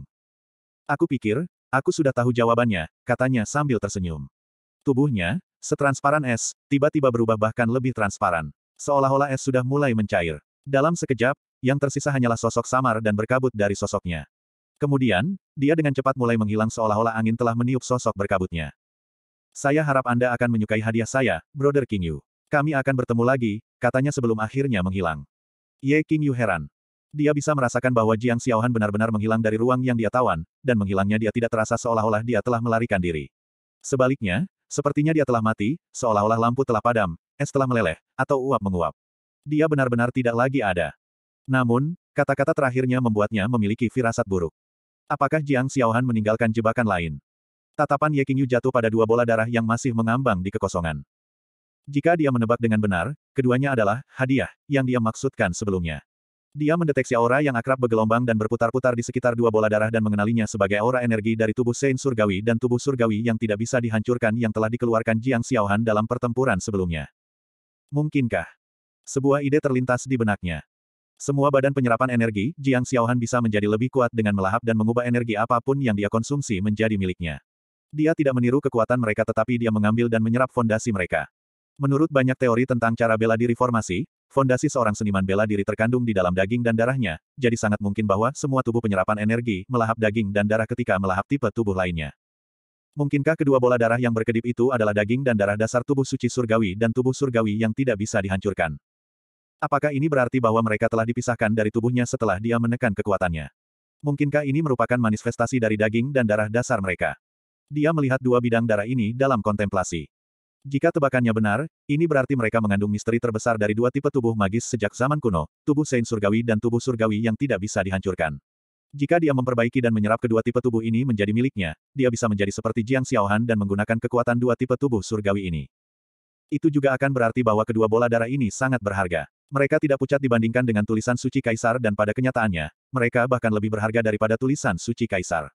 Setelah semua, Menurut legenda dan catatan klasik, tubuh Saint Surgawi dan tubuh Surgawi yang tidak bisa dihancurkan hampir sekuat kaisar marsial pada tahap kematangan yang agung. Untuk membuktikan hipotesisnya, dia menggunakan 108 karakter kuno untuk mengeluarkan batasan untuk mencegah terjadinya kecelakaan, kemudian dia mulai membagi akal surgawi menjadi tentakel kecil tipis yang perlahan-lahan bergerak menuju dua bola darah. Desis. Dia tersentak. Kedua bola darah itu memang penuh dengan rantai hukum dan prinsip-prinsip Dao yang melimpah seperti lautan kabut. Mereka seperti dua dunia kecil yang independen dan misteri tipe tubuh mereka yang mengejutkan dunia terkandung dalam jaring berwarna darah yang saling bersilangan dari rantai hukum dan prinsip Dao. Waktu terus berlalu saat Ye Qingyu dengan cermat memeriksa bola darah ini. Sehari kemudian, Ye Qingyu berdiri di tangga batu di depan aula besar dan menatap murid-murid yang sedang berkultivasi dan bermeditasi di dojo abadi. Dia mengangkat kedua tangannya sedikit dan dua bola darah berputar di telapak tangannya. Aku sudah sepenuhnya memahami misteri dua tipe tubuh surgawi, renungnya. Namun, dia tidak terlalu senang karena dia hanya melakukan ini karena penasaran. Meskipun keduanya adalah tipe tubuh surgawi kuno dan sangat langka, dengan pengecualian beberapa misteri yang terkandung dalam rantai prinsip Dao yang dapat ia gunakan sebagai referensi, sebagian besar misteri yang terkandung di dalamnya tidak berguna baginya. Misteri dalam lingkup darah sangat jelas karena Jiang Xiaohan telah menggunakan semua tubuh penyerapan energi untuk menyempurnakannya, tidak ada kabut tebal yang menghalangi dia. Dengan demikian, itu menyelamatkannya banyak usaha. Itu juga sangat mudah untuk menyerap mereka dalam keadaan mereka saat ini, jadi dia bisa dengan mudah mengendalikan mereka, tetapi dia tidak akan melakukannya. Ini karena dia telah mengembangkan teknik pernapasan tanpa nama dan memiliki banyak pertemuan ajaib, jadi kekuatan fisiknya sangat kuat sehingga kekuatan tingkat ini hampir tidak terlihat di dunia. Jiang Xiaohan bahkan tidak bisa mengalahkan Ye Qingyu dengan dua tipe tubuh, jadi dia yakin tipe tubuhnya sendiri sebanding dengan mereka, tidak perlu melepaskan tipe tubuhnya yang sekarang untuk keduanya. Namun, dia tidak akan mengabaikan nilai mereka. Dia memutuskan bahwa dia akan memberikan dua tipe tubuh ini kepada murid-muridnya. Dia bahkan telah memutuskan kepada siapa dia ingin memberi mereka. Dia akan memberikan tubuh Sein Surgawi kepada Bai Yuanxing karena teknik yang dia kembangkan, Jalan Langit Surgawi, adalah teknik pertarungan jarak dekat, jadi itu akan sempurna jika digunakan dalam kombinasi dengan tubuh Sein Surgawi yang kuat. Adapun tubuh Surgawi Indestructible, ia akan memberikannya kepada Jin Linger. Kedua orang ini juga muridnya yang paling awal yang paling setia kepadanya. Mereka juga sangat berbakat dan diberkati dengan bakat yang kuat, dan teknik kultivasi mereka sangat cocok dengan tipe tubuh mereka, jadi dia ingin menggunakan ini untuk membantu dua murid utamanya dari dojo abadi menjadi lebih kuat pada kecepatan yang lebih cepat. Ye Qingyu memikirkan misteri dua tubuh surgawi dan dia hanya perlu menemukan poin mereka yang kompatibel. Semua kekuatan dan kekuatan dibangun di atas kekuatan hukum Dao, jadi dia merenungkan bagaimana menggabungkan misteri dua tubuh surgawi ini ke dalam kultivasinya sendiri, untuk meningkatkan kekuatan tempur tubuhnya sendiri. Dia juga ingat kata-kata yang dikatakan Jiang Xiaohan sebelum dia menghilang dan bahkan lebih yakin bahwa dia masih hidup. Bai Yuanxing dan Jin Linger segera tiba di aula besar. Tuan, kata mereka ketika mereka menyambutnya dengan membungkuk. Ye Qingyu mengangguk dan mengirim bola darah yang berisi tubuh Sein Surgawi ke dalam tubuh Bai Yuanxing sementara ia mengirim tubuh Surgawi yang tidak bisa dihancurkan ke dalam Jin Linger. Gunakan Ki Anda untuk menyerap dan memperbaiki fondasi mereka, Ye Qingyu berkata dengan telepati saat dia memberitahu mereka tentang misteri dan rahasia yang terkandung dalam dua bola darah ini. Dia juga mengatakan kepada mereka untuk memperbaiki kekuatan itu sesegera mungkin, jadi setelah mereka berhasil bergabung dengan bola darah, mereka akan dapat mengubah konstitusi tubuh mereka dengan cara yang menantang surga dan mendapatkan kekuatan yang terkandung dalam dua tubuh kuno ini. Kemudian, dia tetap di Immortal Dojo dan mengamati kemajuan dan perkembangan para murid baru. Dia cukup kuat untuk dapat melihat bagaimana mereka meningkat hari demi hari dan apa yang telah mereka pahami. Secara alami, ia juga bisa mengatakan bahwa murid-muridnya semuanya berada pada tahap perkembangan yang berbeda, efektivitas cara mereka mengolah juga sangat berbeda. Dia ingin melihat kesamaan meskipun ada perbedaan. Dia mengamati mereka dengan sabar dan sepertinya telah melupakan segala hal lainnya, karena dia sepenuhnya membenamkan dirinya dalam tugas itu. Enam bulan kemudian, dia menerima berita dari Dark Realm. Yang mulia, ada beberapa perubahan aneh pada Invaders di distrik Chaos. Menurut para pengintai, sangat mungkin bahwa mereka akan segera meluncurkan serangan skala besar, kata Ling Yun. Dia datang dari kota kegelapan yang tak bergerak untuk menyampaikan berita. Bab 1325 banding 1325. Bab. Di alam gelap. Rentang gunung berkelok-kelok melintasi cakrawala di perbatasan barat tembok besar. Tembok besar adalah keajaiban formasi peradaban cara bela diri. Tingginya 10.000 meter, dan dibentengi dengan formasi yang tak terhitung jumlahnya, menjadikannya sekuat emas. Setelah kubu Guardian dengan susah payah memperbaikinya selama bertahun-tahun, tembok besar sekarang bisa dianggap sebagai benteng yang tak tertembus. Ledakan keras dari drum pertempuran bergemuruh di langit. Asap memenuhi udara, api berkobar cerah dan bau busuk mayat membusuk menyebar di perbatasan barat. Mayat invaders menumpuk dan mereka setinggi bukit kecil. Ketika formasi diaktifkan dan seniman bela diri menghasilkan api besar, banyak mayat penyerbu dibakar, lemak di dalam mayat mereka digunakan untuk menjaga agar api tetap menyala terang. Song Xiaojun berdiri di tembok besar dan memandangi pembantaian di bawah. Daerah di bawah tembok kota sampai ke Cakrawala di kejauhan benar-benar dipenuhi dengan invaders yang menyerang dengan gila-gilaan di tembok besar. Mereka hanya bertarung kurang dari sehari, tetapi sudah ada lebih dari satu juta mayat penyerbu yang menumpuk di bawah tembok besar. Para penyerbu telah melancarkan serangan di semua lini. Tembok besar membentang hingga puluhan ribu kilometer, tetapi hampir setiap titik pertahanan telah diserang, Markis Tingtao Lin Xuan yang berdiri di belakangnya berkata. Anehnya, Invaders belum meluncurkan serangan udara. Sampai sekarang, aku belum mendengar berita tentang serangan udara dari pos pemeriksaan defensif. Song Xiaojun mengangguk. Memang aneh. Skala serangan saat ini hampir tidak menimbulkan ancaman bagi tembok besar, setelah bertahun-tahun, para komandan Invaders harus menyadari fakta ini. Namun, mereka telah menghabiskan sepanjang hari tanpa hasil menyerang tembok besar dan tidak ada tanda-tanda serangan mereka berhenti. Selain itu, itu adalah serangan skala besar di semua lini, jadi mereka tidak mungkin melakukan ini karena bosan, kan? Tampaknya tidak mungkin. Pasukan reguler Song Xiaojun dari kota kegelapan yang tidak bergerak, yang ditempatkan di sepanjang perbatasan tembok besar, memahami yang terbaik dari para penyerbu. Kebanyakan prajurit biasa akan berasumsi bahwa invaders hanyalah binatang buas yang hanya bereaksi terhadap naluri basal mereka, hanya tahu cara membunuh, tetapi mereka yang benar-benar bertarung di kedalaman distrik Chaos akan tahu bahwa invaders dikendalikan oleh komandan mereka, mereka licik dan licik seperti ras intelektual dari Vast Thousand Domains dan The Dark Realm. Kirimkan pengintai Kaisar Kuasi, jauh ke distrik Chaos untuk melihat-lihat, perintah Song Xiaojun. Iya, kata Lin Xuan dan pergi untuk menurunkan pesanan ke pasukan. Pengintai tingkat kuasa Kaisar adalah pengintai paling elit yang ditempatkan di perbatasan tembok besar. Menurut The Beginning, mereka adalah pasukan paling istimewa dan elit di ketentaraan, mereka adalah kartu truf yang sebenarnya. Pasukan pengintai militer juga secara khusus dibentuk atas saran The Beginning. Mobilisasi pengintai militer Kaisar Kuasi menunjukkan betapa seriusnya situasinya. Serangan invader saat ini menyebabkan kerusakan sebanyak badai petir. Meskipun mereka telah meluncurkan serangan skala penuh, jelas bahwa tidak mungkin bagi mereka untuk menembus satu garis pertahanan yang ditempatkan di tembok besar. Namun, serangan ini tampak sangat aneh sehingga Lin Xuan mendukung keputusan Song Xiaojun dan juga merasa bahwa mereka harus mencari tahu kebenaran di balik serangan ini. Selama bertahun-tahun, Lin Xuan selalu menjadi tangan kanan Song Xiaojun dan komandan kedua pasukan yang ditempatkan di sepanjang tembok besar. Sebagai seorang komandan yang telah mencapai prestasi terpuji dalam pertempuran kembali di kamp penjaga, bakat dan kemampuannya sendiri akan menempatkannya di antara sepuluh besar di kamp penjaga. Karena itu, dia juga sedikit bangga dan sombong, tetapi setelah berinteraksi dengan Song Xiaojun, dia penuh kekaguman pada Panglima Martial Empress muda ini. Taktik dan kemampuan Song Xiaojun bahkan lebih luar biasa daripada kecantikannya. Saya tidak terkejut bahwa orang mengatakan bahwa Kaisar Kegelapan dan Kaisar Besar adalah pasangan yang sempurna. Memang, dia berbakat dan cukup bijaksana untuk menjadi pasangan yang baik untuk Kaisar Besar, Lin Xuan berseru pada dirinya sendiri saat dia berdiri di tembok besar dan melihat pertempuran di bawah ini. Pasukan yang ditempatkan di tembok besar bisa melihat sosok Song Xiaojun dan Lin Xuan dari kejauhan, mereka memandang mereka dengan hormat dan kagum. Setelah Song Xiaojun dan Lin Xuan memimpin mereka melalui pertempuran besar dan pertempuran kecil, dan ketika mereka menyaksikan bagaimana Song Xiaojun dan Lin Xuan menangani berbagai hal, semua pasukan kagum dan menghormati kedua komandan mereka. Bahkan seorang prajurit biasa rela mati demi komandan mereka. Moral pasukan lebih tinggi dari sebelumnya. Namun, Song Xiaojun dan Lin Xuan tidak menyadari bahwa ini adalah awal dari pertempuran epik yang akan berlangsung seribu tahun. Tidak akan lama sebelum semua ras di dunia akan terseret ke dalam perjuangan yang tidak pernah berakhir ini. Sinar cahaya yang mengalir merobek langit seperti matahari hitam. Ini adalah sinyal yang digunakan oleh kota kegelapan yang tak bergerak untuk menyampaikan informasi militer yang serius. Song Xiaojun membeku sesaat ketika dia melihat sinyal, sebelum sukacita menyebar di wajahnya.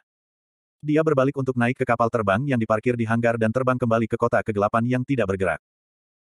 Kaisar besar telah kembali. Sepotong berita ini menyebar dengan sangat cepat melintasi garis depan defensif tembok besar. Berita ini menggerahkan suku-suku gelap yang tak terhitung jumlahnya sementara banyak tentara dari kamp penjaga diam-diam gemetar ketakutan. Setelah penobatan Kaisar Dewa Abadi, Orde Lama secara bertahap dibongkar sementara Orde Baru perlahan-lahan menggantikannya.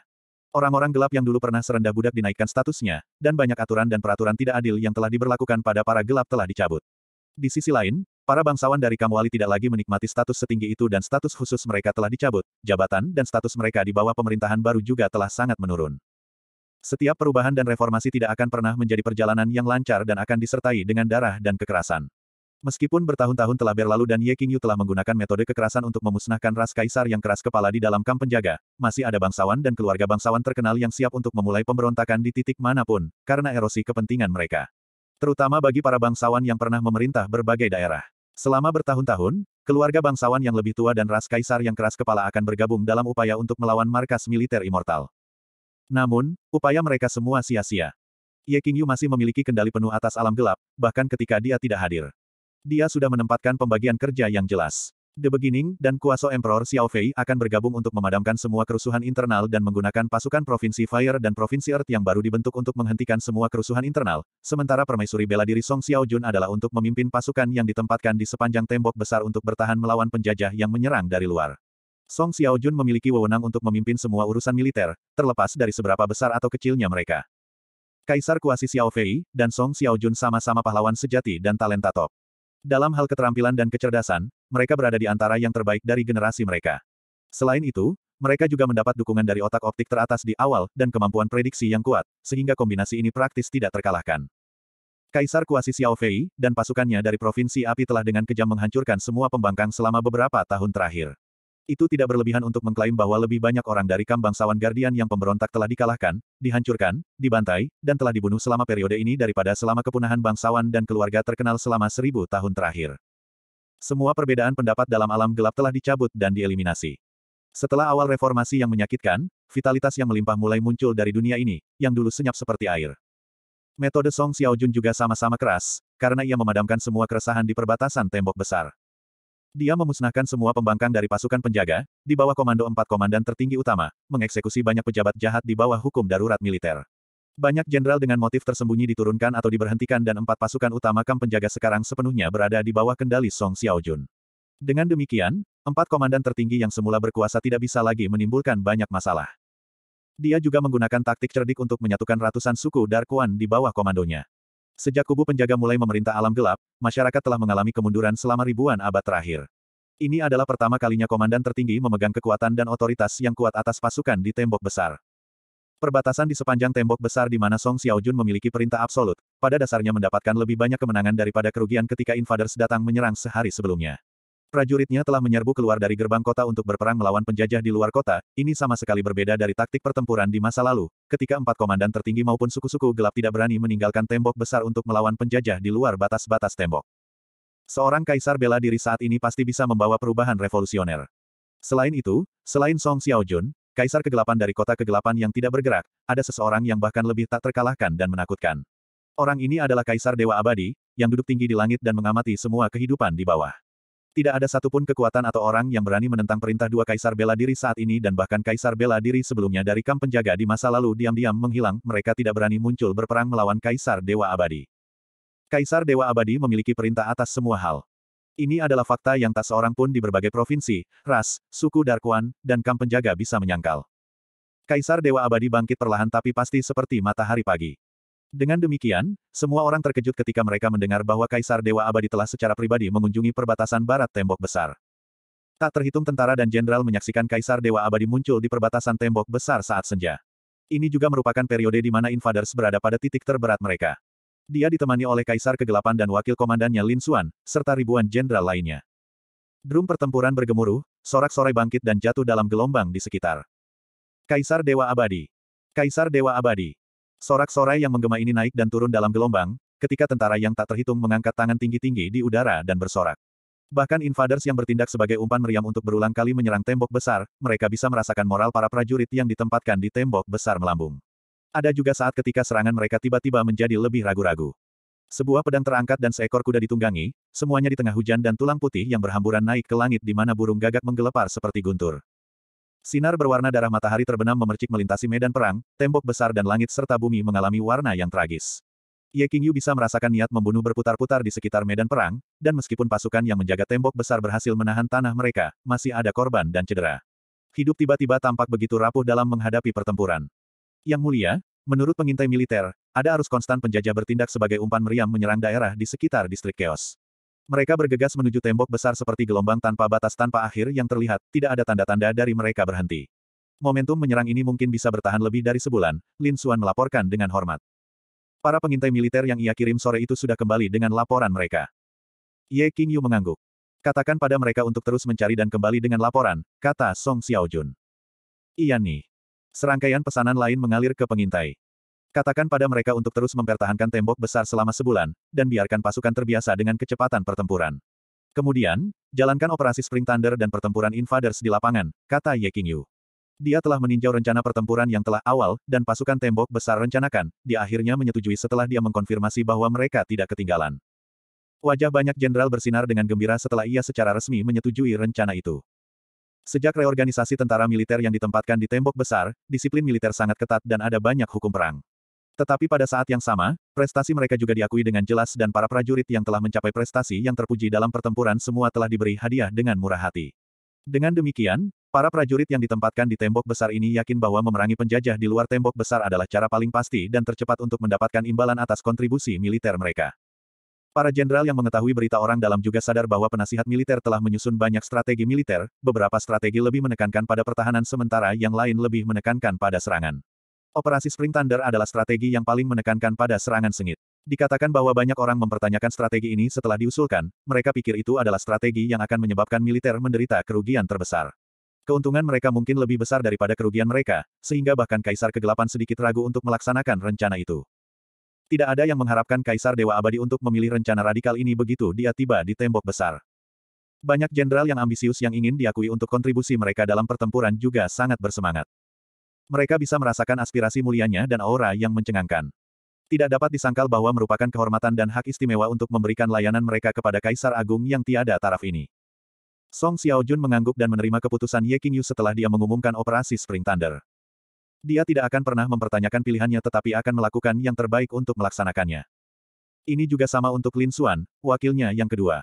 Ye Qingyu memandang invaders yang melonjak ke arah tembok besar dalam gelombang, dia juga mencoba mencari tahu maksud para komandan yang mengendalikan para penjajah ini. Para komandan ini tahu bahwa mustahil bagi para penyerbu ini untuk menembus pertahanan tembok besar, jadi apa sebenarnya yang mereka rencanakan? Apakah mereka berencana untuk melemahkan pasukan di sepanjang tembok besar sebelum meluncurkan serangan mereka yang sebenarnya? Tidak peduli apa niat mereka, dia tidak berencana untuk membiarkan invaders masuk ke tembok besar sama sekali. Dia memutuskan bahwa dia ingin menguji pasukan di tembok besar dan alam gelap di tingkat yang lebih dalam. Itu akan menerapkan sistem militer dari peradaban bumi di seluruh militer. Reformasi bertahun-tahun yang lalu hanyalah awal. Jelas, dia tidak perlu khawatir tentang hal-hal itu. Dia lebih peduli tentang masalah lain, di mana tepatnya Sky Emperor yang kalah. Pria itu adalah sariawan yang harus dicabut dengan cara apa pun. Kalau tidak, ia memiliki potensi untuk menyebabkan kerusakan bencana. Dia bahkan menduga bahwa serangan invaders mungkin terkait dengan Kaisar Langit. Setelah semua, Kam penjaga pernah diam-diam merencanakan dan bergabung dengan invaders, sehingga ia bisa melihat tanda Kaisar Langit dalam hal ini. Bab 1326-50 tahun. Ye Qingyu ingin membunuh Kaisar Langit dan membasmi masalah sebenarnya. Dia tidak berharap bahwa Kekaisaran Abadi tidak akan menemukan jejak Kaisar Langit selama 50 tahun ke depan, mereka juga tidak berhasil mencari tahu di mana penguasa masa lalu yang setia kepada Kaisar Langit berada. Seolah-olah Kaisar Langit dan kroni-kroninya telah sepenuhnya lenyap dari muka bumi. Dia bahkan mencoba menggunakan teknik deteksi Kaisar ringan untuk melacak mereka tetapi tidak berhasil. 50 tahun berlalu dalam sekejap mata di alam gelap. Untuk seniman bela diri yang mengolah cara bela diri, 50 tahun terasa seperti sekejap mata. Namun, Fast Thousand Domains dan The Dark Realm mengalami perubahan signifikan selama 50 tahun itu. Kekuatan peradaban bumi kuno berkembang pesat dengan dukungan Ye Qingyu, ini terutama berlaku dalam hal persenjataan yang dikembangkan dari teknik peradaban bumi, yang terus berkembang dengan kecepatan cahaya. Provinsi bumi dan provinsi api sekarang menjadi asal dari peradaban bumi dan segala macam persenjataan baru terus-menerus dikirim dari provinsi-provinsi ini ke militer. Pasukan baru kekaisaran abadi di alam gelap perlahan terbentuk. Mereka telah meninggalkan tembok besar pada banyak kesempatan untuk memerangi invaders dan telah mencapai hasil yang menakjubkan. Ye Qingyu juga sepenuhnya mendapatkan kendali atas aliansi domain dari ribuan domain yang luas, sementara Heaven Wastelen Domain melanjutkan kenaikan meteoriknya, dan senjata yang dibuat dari teknologi bumi berkuasa tertinggi. Kerajaan abadi menjadi sangat berpengaruh. Pertempuran di luar tembok besar tidak pernah berhenti. Selama 50 tahun terakhir, invaders tidak menghentikan serangan mereka terhadap kekaisaran abadi dan mereka tidak menunjukkan tanda-tanda berhenti. Penyerbu mulai dengan menerjang meriam pakan ternak 50 tahun yang lalu, tapi sekarang, penyerbu tingkat kuasi kaisar sering terlihat di medan perang, sehingga skala keseluruhan pertempuran telah meningkat. Namun, ancaman yang mereka ajukan pada peradaban cara bela diri telah berkurang. Reformasi dan reorganisasi yang dilakukan oleh Dewa Abadi Kaisar Ye Qingyu pada pasukan kerajaan kekaisaran telah membuahkan hasil. Mereka sekarang dapat pergi keluar kota untuk melawan invaders dengan setara, dan mereka bahkan berhasil melakukan eksploitasi militer yang luar biasa setelah pasukan pergi sejauh puluhan ribu kilometer ke dalam distrik Chaos. Pada beberapa kesempatan, mereka juga berhasil mendorong kapal perang kembali beberapa ribu kilometer. Miliaran penjajah telah binasa di tanah menuju bagian barat tembok besar selama 50 tahun terakhir. Namun, Kekaisaran Abadi juga memiliki bagian korban. Tulang putih menumpuk seperti gunung, yang menyerupai gunung yang tertutup salju dari kejauhan. Sungai-sungai telah diwarnai sepenuhnya merah sejak dulu, dan bahkan awan yang menggantung di langit di atas medan perang berwarna merah cerah. Area yang membentang 10.000 km dari bagian barat tembok besar telah menjadi tanah kematian. Drum pertempuran terus-menerus terdengar booming di kejauhan dan bendera militer berkibar di angin seperti naga. Tidak peduli berapa banyak invaders yang terbunuh, selalu ada lebih banyak dari mereka, dan darah para pahlawan terus-menerus ditumpahkan di medan perang. Pertempuran berlanjut tanpa henti. Namun, di sebelah timur tembok besar, alam gelap dan luas ribuan domain telah memasuki zaman yang damai dan kemasan. Kota kerajaan Guardan yang baru telah mengambil alih komando 10 batalion utama, termasuk pasukan baru Provinsi Api dan Provinsi Bumi. Jadi Ye Qingyu memiliki lebih dari 20 juta tentara elit di bawahnya hanya di alam gelap saja, dan jika dia memasukkan pasukannya di domain seribu besar, termasuk domain surga tanah, kerajaan manusia naga, dan domain utama lainnya, dia akan memiliki pasukan beberapa ratus juta. Itu tidak berlebihan untuk mengklaim bahwa kekaisaran abadi telah mencapai tahap yang mulia yang tidak bisa disamakan oleh siapa pun, baik di masa lalu dan di masa depan. Lima jenderal surgawi dan hewan peliharaan pertempuran roh keras Sun Wukong harus mengakui bahwa kekaisaran abadi mulai menunjukkan nuansa pengadilan cahaya surgawi di puncaknya. Tapi tidak ada catatan dewa abadi Kaisar Ye Qingyu bertarung selama 50 tahun terakhir. Seolah tidak ada yang layak diserang olehnya. Tidak ada yang tahu seberapa kuat Ye Qingyu selama 50 tahun terakhir, tetapi semua orang benar-benar yakin bahwa setelah 50 tahun, Kaisar Besar Ye Qingyu adalah orang yang paling kuat di dunia. Bahkan ketika waktu berlalu dan berlimpahnya ki spiritual dalam kata itu melonjak mengakibatkan munculnya banyak bakat terkenal dan tak tertandingi, tidak ada satu orang pun yang berani menantang Kaisar Besar Ye Qingyu. Kaisar Besar Ye Qingyu tampaknya seperti dewa surgawi yang hidup tinggi di sembilan surga, memandang rendah dan memerintah seluruh dunia. Banyak keajaiban muncul dari kekaisaran abadi. Kaisar kegelapan, Song Xiaojun, dan permaisuri surga kekaisaran tanah air, Yu Xiaoxing, muncul sebagai wanita paling luar biasa di zaman mereka. Kedua wanita cantik yang tak tertandingi ini memiliki ratusan pria gagah dan gagah yang menyembah di kaki mereka. Sulit membayangkan bahwa dua wanita luar biasa ini dapat muncul dari generasi yang sama. Banyak orang ingin tahu lebih banyak tentang kisah cinta antara dua wanita ini dan Kaisar Besar Ye Qingyu, tetapi sayangnya, tidak ada yang mendukung rumor ini. Permaisuri Suisiu telah mengasingkan diri tetapi eselon atas dari Kekaisaran dan Guardan Royal City semua tahu tentang keberadaannya. Suisiu selalu memperlakukan Ye Qingyu seperti tuannya dan dia memang belajar banyak darinya. Banyak orang diam-diam terkejut oleh betapa kuatnya dia, dan ini juga merupakan bukti kultivasi Ye Qingyu saat ini. Sang permaisuri selalu tetap berada di ibu kota salju, kota kekaisaran Heaven Wastelen Empire, selama 50 tahun terakhir, dan tidak menonjolkan diri. Guming dari Seven Fingers Rache juga bergabung dengan Heaven Wastelen Empire. Dia memegang posisi tinggi di dalam markas militer dan sepenuhnya mengubah orang-orang militer ini, yang dulunya kecanduan judi. Pada saat yang sama, ia bekerja keras untuk menghidupkan kembali Seven Fingers Rache dan untungnya, upayanya terbayar dan ia menemukan seorang anak yang merupakan bagian dari garis keturunan Seven Fingers Rache.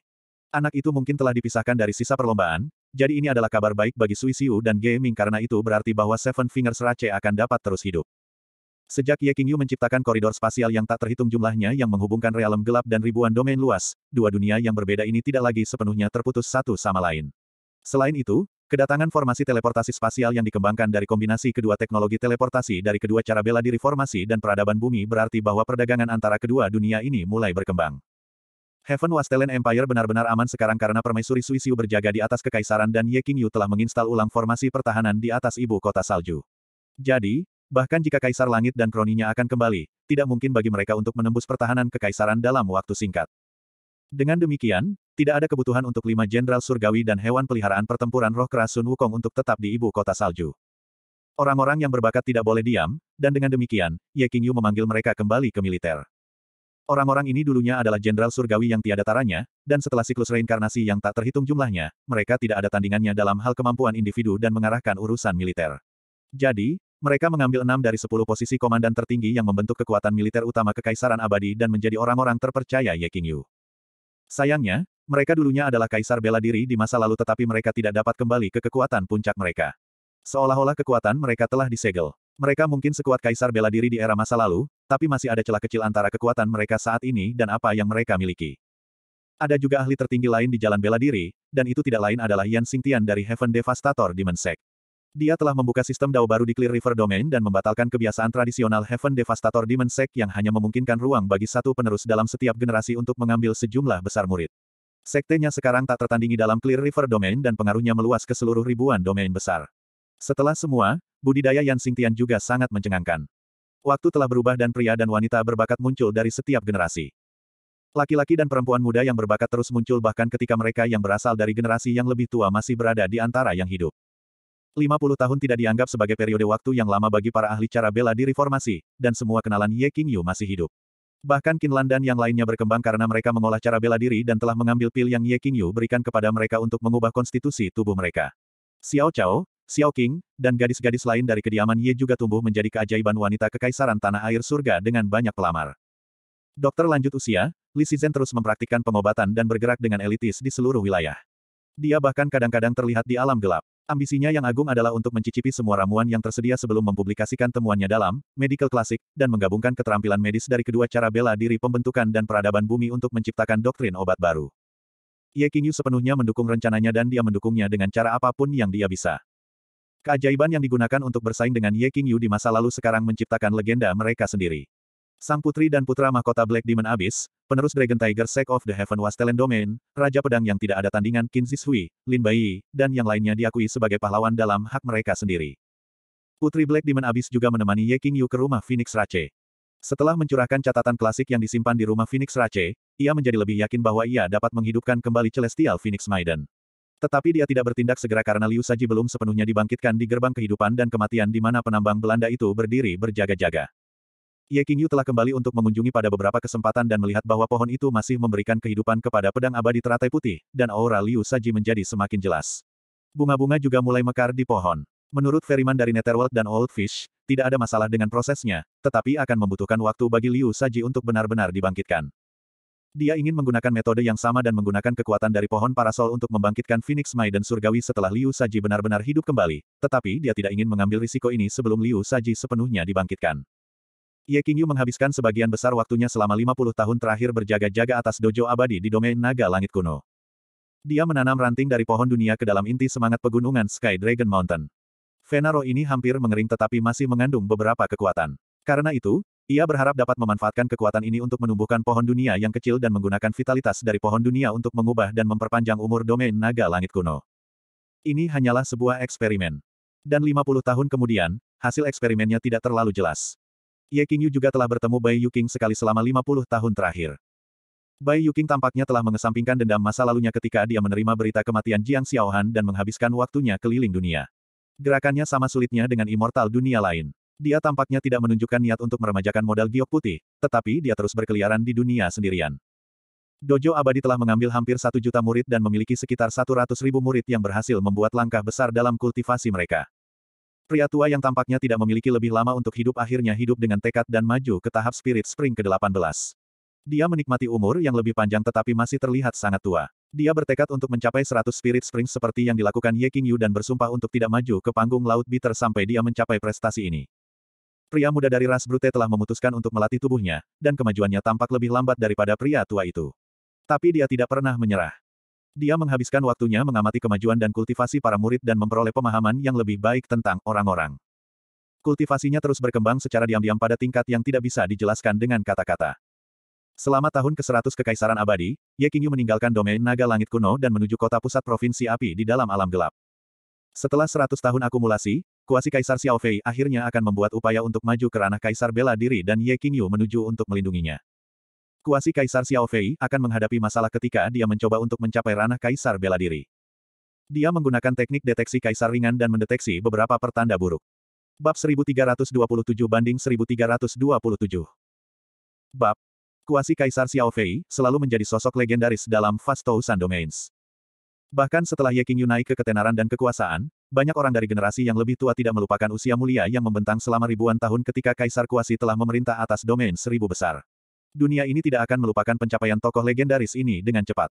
Zaman keemasan kemakmuran yang besar menyebabkan budidaya rata-rata di sepanjang jalan bela diri melonjak dengan cepat. Para ahli bela diri yang tak terhitung jumlahnya bertarung di antara mereka sendiri untuk menjadi yang terbaik, dan para ahli tingkat kaisar tidak lagi ahli yang paling kuat yang bisa memerintah tanah itu sendirian. Tetapi pengaruh kaisar-kaisar Xiao Fei meluas ke mana-mana. Karena dia telah berhasil menjadi seorang kaisar kuasi pada zaman ketika ki spiritual sangat langka, banyak orang bertanya-tanya seberapa kuat dia sekarang ketika zaman kemasan kemakmuran telah tiba. Namun, tidak ada yang melihat Li Xiaofei sejak pertempuran di Capital Sky Peak dan seolah-olah dia benar-benar menghilang dari muka dunia. Tidak ada yang tahu apa yang sebenarnya, dan bahkan ada desas-desus yang beredar bahwa Li Xiaofei sudah mati. Selama ini, hanya Ye Qingyu dan segelintir orang yang tahu keberadaan Li Xiaofei.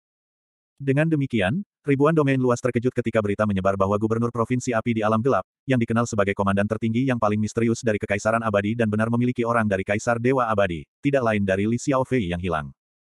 Gelombang kejut dari ribuan domain luas juga menyebar ke alam gelap. Namun, sebelum mereka dapat memproses berita, mereka bahkan lebih terkejut bahwa Li Xiaofei akhirnya akan mencoba untuk maju ke ranah kaisar bela diri setelah bertahun-tahun akumulasi. Terlebih lagi, dia tampak percaya diri dalam mencapai prestasi. Mereka bahkan lebih terkejut ketika mereka mendengar bahwa Dewa Abadi Kaisar Ye Qingyu secara pribadi telah pergi untuk melindunginya. Ketika berita itu dipublikasikan, itu mengguncang seluruh dunia. Saat ini, sudah ada tiga kaisar bela diri dalam kekaisaran abadi, Ye Qingyu, Song Xiaojun, dan Sui Xiu, dan mereka mewakili kekuatan yang menakjubkan. Masyarakat tidak benar-benar tahu seberapa kuat kartu truf rahasia mereka dan kekuatan yang mendasari itu, tetapi jika Li Xiaofei berhasil menjadi kaisar bela diri, itu berarti bahwa kekuatan kekaisaran immortal akan melonjak secara signifikan. Lagi pula, prestasi historis Li Xiaofei lebih menonjol daripada Song Xiaojun dan Sui Xiu. Setelah orang ini menjadi kaisar bela diri, dia pasti akan lebih kuat daripada kaisar bela diri rata-rata. Li Xiaofei telah memilih untuk melewati kesusahan surgawi di Guardian Royal City. Aku mendengar bahwa kaisar besar Ye Qingyu secara pribadi telah memilih tempat itu. Kaisar Besar Ye Qingyu benar-benar harus menjunjung tinggi Li Xiaofei. Sekarang Kaisar Besar telah secara pribadi pergi untuk menjaganya, tidak ada yang akan bisa menghentikan Li Xiaofei dari naik ke ranah Kaisar bela diri. Ini akan menyebabkan kekuatan kekaisaran abadi untuk meroket, dan era baru yang belum pernah terjadi sebelumnya dari bela diri surgawi kerajaan akan segera dimulai. Saya tidak berpikir musuh mereka akan duduk diam dan membiarkan kekaisaran abadi untuk terus meningkat dengan cepat. Sekarang kekaisaran abadi sedang dalam perjalanan untuk menjadi tak terkalahkan di seluruh dunia, saya kira kekuatan-kekuatan yang telah bersembunyi di kegelapan akan menjadi gila dan pasti akan segera bertindak. Segala macam rumor beredar di sekitar Vast Thousand Domains dan The Dark Realm. Tampaknya ada kekuatan yang tak terlihat yang memfasilitasi peredaran rumor ini, dan berita bahwa Li Xiaofei akan berusaha naik ke ranah kaisar bela diri menjadi topik hangat di seluruh dunia, terutama desas-desus Li Xiaofei menjadi tak terkalahkan setelah naik untuk Martial Emperor. Desas-desus ini menyebar seperti api, dan ketika desas-desus ini terus menyebar, lebih banyak rincian terungkap, seperti tata letak Guardian Royal City, dan waktu yang tepat bahwa Li Xiaofei berencana untuk melakukan usahanya, dan sebagainya. Rincian ini mulai menyebar di kedua dunia. Pada bulan Juli tahun ke-100 Kekaisaran Abadi, di Guardian Royal City di alam gelap. Penjaga pribadi Dewa Abadi Kaisar Ye Qingyu dimobilisasi dan mereka mengambil kendali atas formasi defensif dan menyerang yang diletakkan di seluruh kota kerajaan. Kota kerajaan menjadi seperti benteng perunggu dan keamanannya sangat ketat. Mereka mulai menegakkan hukum darurat perang di atas kota dan tidak mengizinkan siapa pun berjalan di sepanjang jalan di siang atau malam hari. Pada tanggal 7 Juli, di platform awan hijau, Li Xiaofei, yang mengenakan jubah angkatan laut, muncul di lapangan awan hijau bersama dengan penggantinya, Li Shengyan. Ada sangat sedikit orang di lapangan awan hijau pada hari itu, dan sebagian besar dari mereka yang hadir adalah pakar yang sangat terampil dari militer yang bertugas menjaga alun-alun. Mereka tidak di sini untuk menyaksikan proses Li Xiaofei menjadi kaisar. Ini adalah masalah yang sangat penting dan bahkan Ye Qingyu, yang ada di sini untuk mengawasi persidangan, tidak berani memperlakukan masalah ini dengan enteng. Tidak ada orang luar yang diundang untuk menyaksikan upacara ini. Hanya petinggi kerajaan dan beberapa bangsawan tinggi yang hadir untuk menyaksikan upaya Li Xiaofei untuk menjadi kaisar bela diri. Ini adalah kesempatan sekali seumur hidup bagi setiap seniman bela diri karena mungkin saja mereka bahkan dapat memperoleh pencerahan dengan menyaksikan proses ini dan mencapai terobosan dengan cara bela diri mereka. Ye Qingyu secara pribadi memilih tempat ini, yang pernah menjadi arena bagi para bangsawan kota kerajaan untuk bertarung sampai mati, untuk menjadi tempat bagi Li Xiaofei untuk melancarkan upayanya menjadi kaisar. Li Xiaofei melangkah ke platform awan hijau saat semua orang memandang. Dia mengenakan jubah biru tua dan rambut hitamnya jatuh seperti air terjun di punggungnya. Sosoknya tinggi dan ramping seperti immortal yang halus, dan aura yang sulit dipahami dan berlimpah berputar di sekelilingnya. Gumpalan Kaisar Kikabut sudah bisa terlihat berputar-putar di sekelilingnya, dan semua orang di lapangan awan hijau sangat gembira ketika mereka memperhatikan itu. Ini adalah pertanda bahwa kerja keras yang telah dilakukan Li Xiaofei selama bertahun-tahun telah membuahkan hasil dan dia hanya kumis dari menjadi kaisar bela diri. Ada kemungkinan sangat besar bahwa dia akan berhasil hari ini. Aktifkan formasi. Sebuah suara berwibawa terdengar melintasi alun-alun hijau. Kemudian, sinar cahaya dari formasi perisai cahaya melonjak ketika platform awan hijau perlahan naik ke langit. Li Xiaofei duduk bersila di peron, tampak seperti dewa yang naik ke surga. Seluruh kota kerajaan Guardan di lapangan awan hijau segera disiagakan. Formasi pengumpulan ki spiritual yang telah disusun oleh Ye Qingyu juga diaktifkan pada saat yang sama. Kekuatan hukum yang tak terlihat beredar dengan Guardan Royal City di pusatnya, dan ki spiritual dari alam semesta selama beberapa ratus ribu kilometer di sekitarnya mulai melonjak menuju alun-alun hijau. Formasi ini akan memastikan persediaan ki spiritual yang tak ada habisnya untuk Li Xiaofei saat ia memulai upayanya untuk menjadi kaisar bela diri. Ledakan. Li Xiaofei tiba-tiba mengeluarkan aura yang sangat kuat yang berputar-putar di sekitarnya seperti lingkaran cahaya. Bahkan tanpa angin sepoi-sepoi, rambutnya menari-nari dan jubahnya perlahan mulai bergetar juga. Ki berkabut menutupi seluruh tubuhnya. Usahanya untuk menjadi kaisar telah dimulai. Li Shengyan yang gemuk sangat gugup saat dia menyaksikan proses dari lapangan awan hijau, yang mempercepat napasnya. Dia memiliki keyakinan mutlak pada kemampuan leluhurnya, tetapi ini adalah momen yang sangat penting bagi Li Xiaofei sehingga dia tidak bisa tidak khawatir. Meskipun leluhurnya hanyalah kumis dari menjadi kaisar bela diri, semua orang tahu betapa sulitnya menjembatani kesenjangan antara kaisar kuasi dan kerajaan kaisar bela diri. Dan jika dia gagal kali ini, akan sulit baginya untuk melakukan upaya kedua lagi. Ada banyak legenda keajaiban ajaib yang tak tertandingi dan titans yang tak terkalahkan, yang hanya berjarak lebih sedikit dari naik ke puncak cara bela diri mereka dan yang sudah memiliki gumpalan Kaisar Ki, tetapi orang-orang ini telah gagal pada saat terakhir. Ada begitu banyak contoh ahli tak tertandingi ini yang usahanya sia-sia pada tahap akhir. Ini adalah karakteristik misterius dan aneh dari ranah Kaisar bela diri. Sangat sulit untuk menjelaskan hal-hal seperti keberuntungan dan peluang. Waktu dan ombak tidak menunggu siapa pun, jadi bahkan jika seseorang berhasil mendapatkan keuntungan, ia mungkin belum tentu bisa berhasil. Inilah mengapa Li Sengyan sangat khawatir.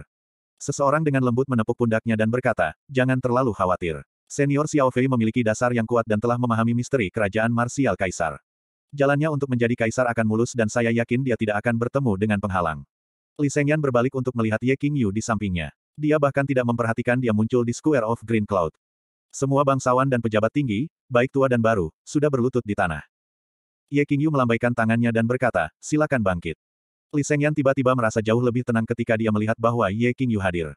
Pria muda ini, yang dia pernah anggap sebagai kawannya di jalan bela diri, sekarang adalah penguasa legendaris seluruh dunia dan tampaknya selalu mampu melakukan yang mustahil. Kekhawatiran Li Sengyan menghilang ketika dia melihat bahwa Ye Qingyu akan ada di sekitar untuk mengawasi proses. Terima kasih banyak, kata Li Sengyan penuh rasa terima kasih. Ye Qingyu tersenyum dan berkata, aku menganggapmu sebagai saudara, jadi tidak perlu berdiri di atas upacara. Waktu berlalu. Delapan jam berlalu dalam sekejap mata. Sudah lewat tengah hari. Di langit, platform awan hijau sudah dikelilingi oleh kilat, guntur, dan awan kesengsaraan. Ledakan yang memekakan telinga dari kekuatan hukum Dao bergemuruh melintasi langit dan segala macam makhluk misterius muncul seolah-olah itu adalah perwujudan hukum Dao untuk dituntut di Li Xiaofei. Ini adalah tanda bahwa kesengsaraan surgawi dari Grid Dao telah dimulai, dan sepertinya semua jenis makhluk telah mengepung dan sedang menyerang Li Xiaofei. Jelas, Li Xiaofei sudah memasuki tahap penting dalam upayanya untuk menjadi kaisar. Para pejabat tinggi dan para ahli di bawah platform awan hijau menyaksikan adegan ini dengan mata terbuka lebar heran. Mereka semua ahli di jalan bela diri dan mereka semua memiliki kesempatan untuk naik ke kerajaan marsial suatu hari, jadi mereka tidak akan membiarkan kesempatan langka ini untuk menyaksikan ahli yang sangat terampil naik ke ranah kaisar marsial lewat. Ini adalah kesempatan sekali seumur hidup. Li Sengyan menjadi sangat gugup dan jantungnya selalu ada di tenggorokannya. Ye Qingyu tampak tenang dan tenang saat dia menyaksikan proses yang berlangsung dengan tangan di belakang punggungnya. Suatu hari berlalu dalam sekejap mata. Keesokan harinya saat senja, matahari terbenam mewarnai langit semerah darah. Ledakan, ledakan, ledakan. Baut petir emas dan awan kesengsaraan terus-menerus turun dari sembilan surga, dan kekuatan menakutkan hukum dao meledak seolah-olah langit dan bumi melolong dengan marah. Petir keemasan dan kilat memercik melintasi langit, dan sepertinya seluruh platform awan hijau akan disempurnakan. Momen terakhir dan paling penting akhirnya tiba. Kaisar Kiaura yang melimpah secara bertahap tumbuh lebih jelas pada platform awan hijau dan menyebar ke seluruh lingkungan.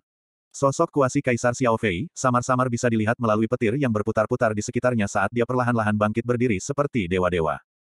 Keberhasilan. Li Sengyan akhirnya menghela nafas lega. Banyak orang tampak senang ketika mereka menyaksikan pemandangan ini dari lapangan awan hijau. Ye Qingyu menghela nafas lega juga. Namun, sinar cahaya yang mengalir tiba-tiba melesat keluar dari kerumunan yang berkumpul di Square of Green Cloud. Itu berisi kekuatan yang menakutkan dan destruktif saat meluncur menuju platform awan hijau. Cahaya yang mengalir ini begitu kuat dan ditembakkan begitu tiba-tiba sehingga bahkan Ye Qingyu pun tertangkap basah. Ledakan. Kekuatan destruktif menabrak platform awan hijau. Langit dan bumi bergetar. Oh tidak, Li Sengyan merasakan rambutnya berdiri ketika dia melihat ini dan dia sangat khawatir untuk pamannya. Bab 1328 Bab. Seseorang telah meluncurkan serangan diam-diam. Teriakan dan seruan terkejut terdengar di lapangan awan hijau. Ye Qingyu sudah tiba di langit di atas platform awan hijau dalam sekejap. Setelah serangan menyelinap tiba-tiba yang keluar entah dari mana, Li Xiaofei, yang sudah begitu dekat dengan naik ke ranah kaisar bela diri, menemukan bahwa auranya dilemparkan ke dalam kekacauan, dan hukum-hukum kaisar Qi yang telah begitu jelas beberapa saat yang lalu lambat laun tumbuh blurier. Awan kesengsaraan, guntur, dan kilat yang mengelilingi platform awan hijau juga menjadi sangat kacau. Dia disergap begitu tiba-tiba ketika berusaha untuk maju di sepanjang jalan kaisar sehingga kekuatannya dan kekuatan alam semesta berbalik dan mulai menyerangnya dan situasinya menjadi sangat penuh dengan bahaya. Meskipun begitu kuatnya dia, Li Xiaofei mengalami cedera serius hampir secara instan. Sebuah panah darah menyembur keluar dari mulutnya. Situasi segera berubah menjadi lebih buruk.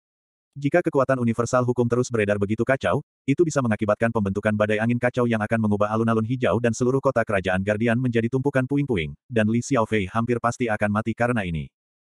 Maksud dari orang yang telah menyerang Li Xiaofei jelas dan sangat jahat. Ini adalah hal terburuk yang bisa terjadi pada seorang seniman bela diri yang berusaha untuk maju di jalan kaisar. Bekukan, lenyap. Teriak Ye Qingyu saat dia tiba di platform awan hijau. Dia menggunakan 108 karakter kuno teknik misterius dan mengumpulkan cahaya dari bintang-bintang di tangan kirinya untuk menggambar kata, beku, di kekosongan sementara kemegahan pedangnya akan berkedip di tangan kanannya dan dia menulis kata, menghilang, dalam kehampaan. Dia menekankan tangan kirinya ke punggung Xiao Fei, Kaisar-Kaisar, dan menyuntikkan kekuatan formasi ke dalam tubuh, Kaisar-Kaisar Xiao Fei, saat dia berusaha untuk memadamkan dan membekukan batin Ki Kaisar Yuan yang berkecamuk di dalam dirinya. Dia mengirim tangan kanannya ke kehampaan platform awan hijau di sekitarnya saat dia mencoba untuk mengusir awan kesusahan yang kacau dan kekuatan hukum universal yang telah berkumpul di atas kepala. Dia harus melakukan kedua tindakan jika dia ingin menyelamatkan Kaisar Kuasi Xiao Fei. Namun, itu sangat sulit. Ye Qingyu mungkin adalah orang yang paling kuat di dunia dan tidak ada yang memiliki pemahaman yang lebih baik tentang misteri kerajaan daripada dia, tetapi bahkan dia tidak bisa langsung mengubah situasi berbahaya ini. Lagi pula, semua orang memiliki jalan unik mereka untuk menjadi kaisar dan jalan kaisar yang berisi serangkaian misteri berbeda. Ye Qingyu memiliki cara bela diri sendiri sementara Kaisar Kuasi Xiao Fei juga memiliki cara bela diri yang unik. Seperti kata pepatah, mereka yang kursusnya berbeda tidak dapat merencanakan satu sama lain. Dengan demikian, sangat sulit bagi Ye Qingyu untuk mencoba menggunakan daunnya sendiri untuk menyembuhkan luka dao Kaisar-Kaisar Xiao Fei. Pada saat yang sama, kekuatan umpan balik dari kekuatan universal hukum sangat menakutkan.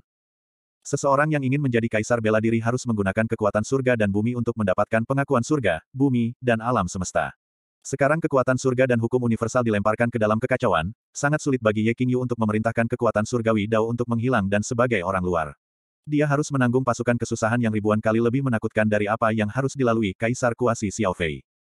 Meskipun kekuatannya tak terkalahkan, dia juga berada di bawah tekanan besar sehingga wajahnya tiba-tiba pucat. Desir. Sinar cahaya destruktif lain mengoyak udara dan meluncur ke arahnya. Orang yang telah melancarkan serangan menyelinap sebelumnya menyerang lagi. Ini adalah kaisar bela diri dari masa lalu dan dia juga bagian dari Kam Kaisar Langit. Dia telah menggunakan teknik aneh dan licik untuk mengambil kendali atas tubuh seorang bangsawan tua yang berasal dari kekaisaran abadi dan menghindari deteksi Ye Qingyu untuk meluncurkan serangan menyelinap pada saat yang genting. Dia hampir menghancurkan kemajuan apa pun yang telah Kaisar Kuasi Xiao Fei buat di jalan Kaisar. Dia sangat jahat dan menargetkan Ye Qingyu saat berikutnya dia pindah. Sialan. Kita harus melindungi kaisar besar. Hentikan dia. Para pejabat setia dari Kekaisaran Abadi di lapangan awan hijau menuduhnya dan mencoba untuk menghentikan orang yang tercela ini tetapi kekuatan kacau Heavenly Dao mengirim mereka terbang. Mereka tidak kebal terhadap kekuatan surgawi Dao karena mereka belum menjadi kaisar bela diri sendiri. Haha, Ye Qingyu, aku yakin kamu tidak pernah membayangkan hari seperti itu akan datang. Sudah waktunya bagimu untuk mati. Orang itu tertawa dengan gila-gilaan seperti seorang kaisar Qi yang sebanding dengan seorang kaisar bela diri saat ini meledak darinya. Dia ingin membunuh Ye Qingyu saat dia terjebak memerangi prahara surgawi Dao. Situasinya sangat berbahaya. Ye Qingyu memiliki satu tangan di punggung Kaisar Kuasi Xiao Fei, dan dia mencoba untuk mengusir kekuatan umpan balik dari Heavenly Dao dengan tangan lainnya, jadi dia tidak bisa menggerakkan tubuh dan kakinya, juga dia tidak bisa menarik tangannya. Dia berada di bawah tekanan besar dan seolah-olah dia terjepit di tempat, sehingga dia tidak bisa melawan dengan serangannya sendiri. Nyah. Ye Qingyu berteriak marah saat cahaya pedang melintas dari mulutnya. Sinar pedang akan dari life sword-nya keluar dari mulutnya. Ledakan. Darah berceceran di mana-mana. Tubuh orang yang mencoba menyerang Ye Qingyu diiris menjadi dua, tapi dia melakukan perlawanan yang putus asa dan dengan panik membakar kekuatan asalnya. Lalu, dia meluncur ke arah Ye Qingyu seperti planet yang menyala. Ekspresi Ye Qingyu sedikit berubah. Serangan pada skala ini tidak akan berakibat fatal, tetapi yang berpotensi mematikan adalah reaksi berantai yang mengerikan yang bisa terjadi jika hukum alam semesta yang semrawut dinyalakan oleh kekuatan eksternal. Ini akan cukup untuk menyebabkan badai angin kacau yang bisa menghancurkan segalanya. Namun, sudah terlambat untuk menghentikannya. Gemuruh. Kaisar bela diri tiba-tiba secara spontan terbakar ketika dia berada dalam jarak seribu meter dari Ye Qingyu. Sulit untuk menggambarkan betapa menakutkannya pemandangan itu ketika seorang kaisar bela diri menggunakan kekuatan asalnya untuk menyalakan pembakaran spontan. Semua warna tampaknya telah lintah dari alam semesta dan semuanya diwarnai monokrom. Gelombang kejut energi ledakan meledak di seluruh lingkungan seperti lapisan awan kumulus. Kematian menjulang di atas alun-alun hijau dan setiap area di kota kerajaan Guardian. Cloud Top Cauldron, teriak Ye Qingyu. Cloud Top Cauldron segera muncul dan berputar seperti gasing saat itu berkembang dengan cepat. Mulut kuali itu seperti langit gelap gulita, yang mulai menekan dan menyerap energi ledakan yang kacau.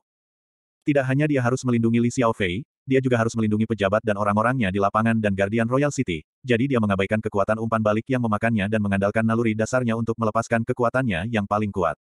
Kekuatan meledak dan menggunakan semua kartu asnya karena tidak ada waktu baginya untuk merencanakan dan bereaksi. Babum bum. Kekuatan Dao Surgawi dan alam semesta meledak seperti semburan sebelum ditumpas oleh Cloud Top Cauldron. Para pejabat penting, termasuk Li Sengyan dan penjaga pribadi yang ditempatkan di sekitar lapangan awan hijau, bahkan tidak bisa bergerak ketika gelombang kejut yang tersisa menyapu mereka. Mereka seperti siput terjebak dalam rawa-rawa dan hanya bisa menonton ketika formasi perisai ringan mulai pecah seolah-olah palu besar telah menabraknya. Bangunan dan tembok kota di sekitarnya hancur berkeping-keping, saat turbulensi di langit menelan platform awan hijau dan Yu. Dan ketika awan kumulus mengerikan yang berisi kekuatan kekacauan tampak seperti mereka akan menghancurkan segala sesuatu yang terlihat. Waktu sepertinya melambat. Semua orang benar-benar kosong. Sementara itu, waktu sepertinya bergerak sangat cepat. Semua tanda dan keajaiban aneh ini muncul, lalu menghilang dalam sekejap. Ketakutan akan kematian yang disebabkan oleh kekuatan destruktif masih segar dalam ingatan mereka bahkan ketika kekuatan apokaliptik dan kacau dari awan kumulus abu-abu yang berat tiba-tiba tersedot dengan cepat ke Cloud Top Cauldron. Warna kembali ke dunia, ancaman kematian meninggalkan mereka, dan tekanan kuat menghilang. Sebelum mereka bisa mengeluarkan sorakan kebahagiaan, mereka tiba-tiba menyadari cahaya kemasan menyilaukan dari Cloud Top Cauldron langsung redup. Dengan cepat menyusut tak terkendali sebelum jatuh dari langit. Jatuh. Kuali perunggu mendarat di lapangan awan hijau dengan tabrakan yang memekakkan telinga. Retakan jaring laba-laba muncul di tanah. Permukaan kuali perunggu itu berlumuran darah, yang sangat merah terhadap kuali perunggu. Itu adalah darah kaisar. Mungkinkah? Semua orang dipenuhi firasat buruk. Kemudian, Cloud Top Cauldron bergetar sedikit dan darah mengalir keluar seperti sungai dari dalamnya. Semua orang menyaksikan sosok yang terluka muncul dari kuali dengan pria lain di lengannya. Seluruh dunia gempar ketika mereka mendengar berita bahwa Dewa Abadi Kaisar Ye Qingyu telah terluka parah. Bagaimana bisa Kaisar Dewa Abadi yang tak terkalahkan terluka? Tidak ada yang percaya berita ini pada awalnya.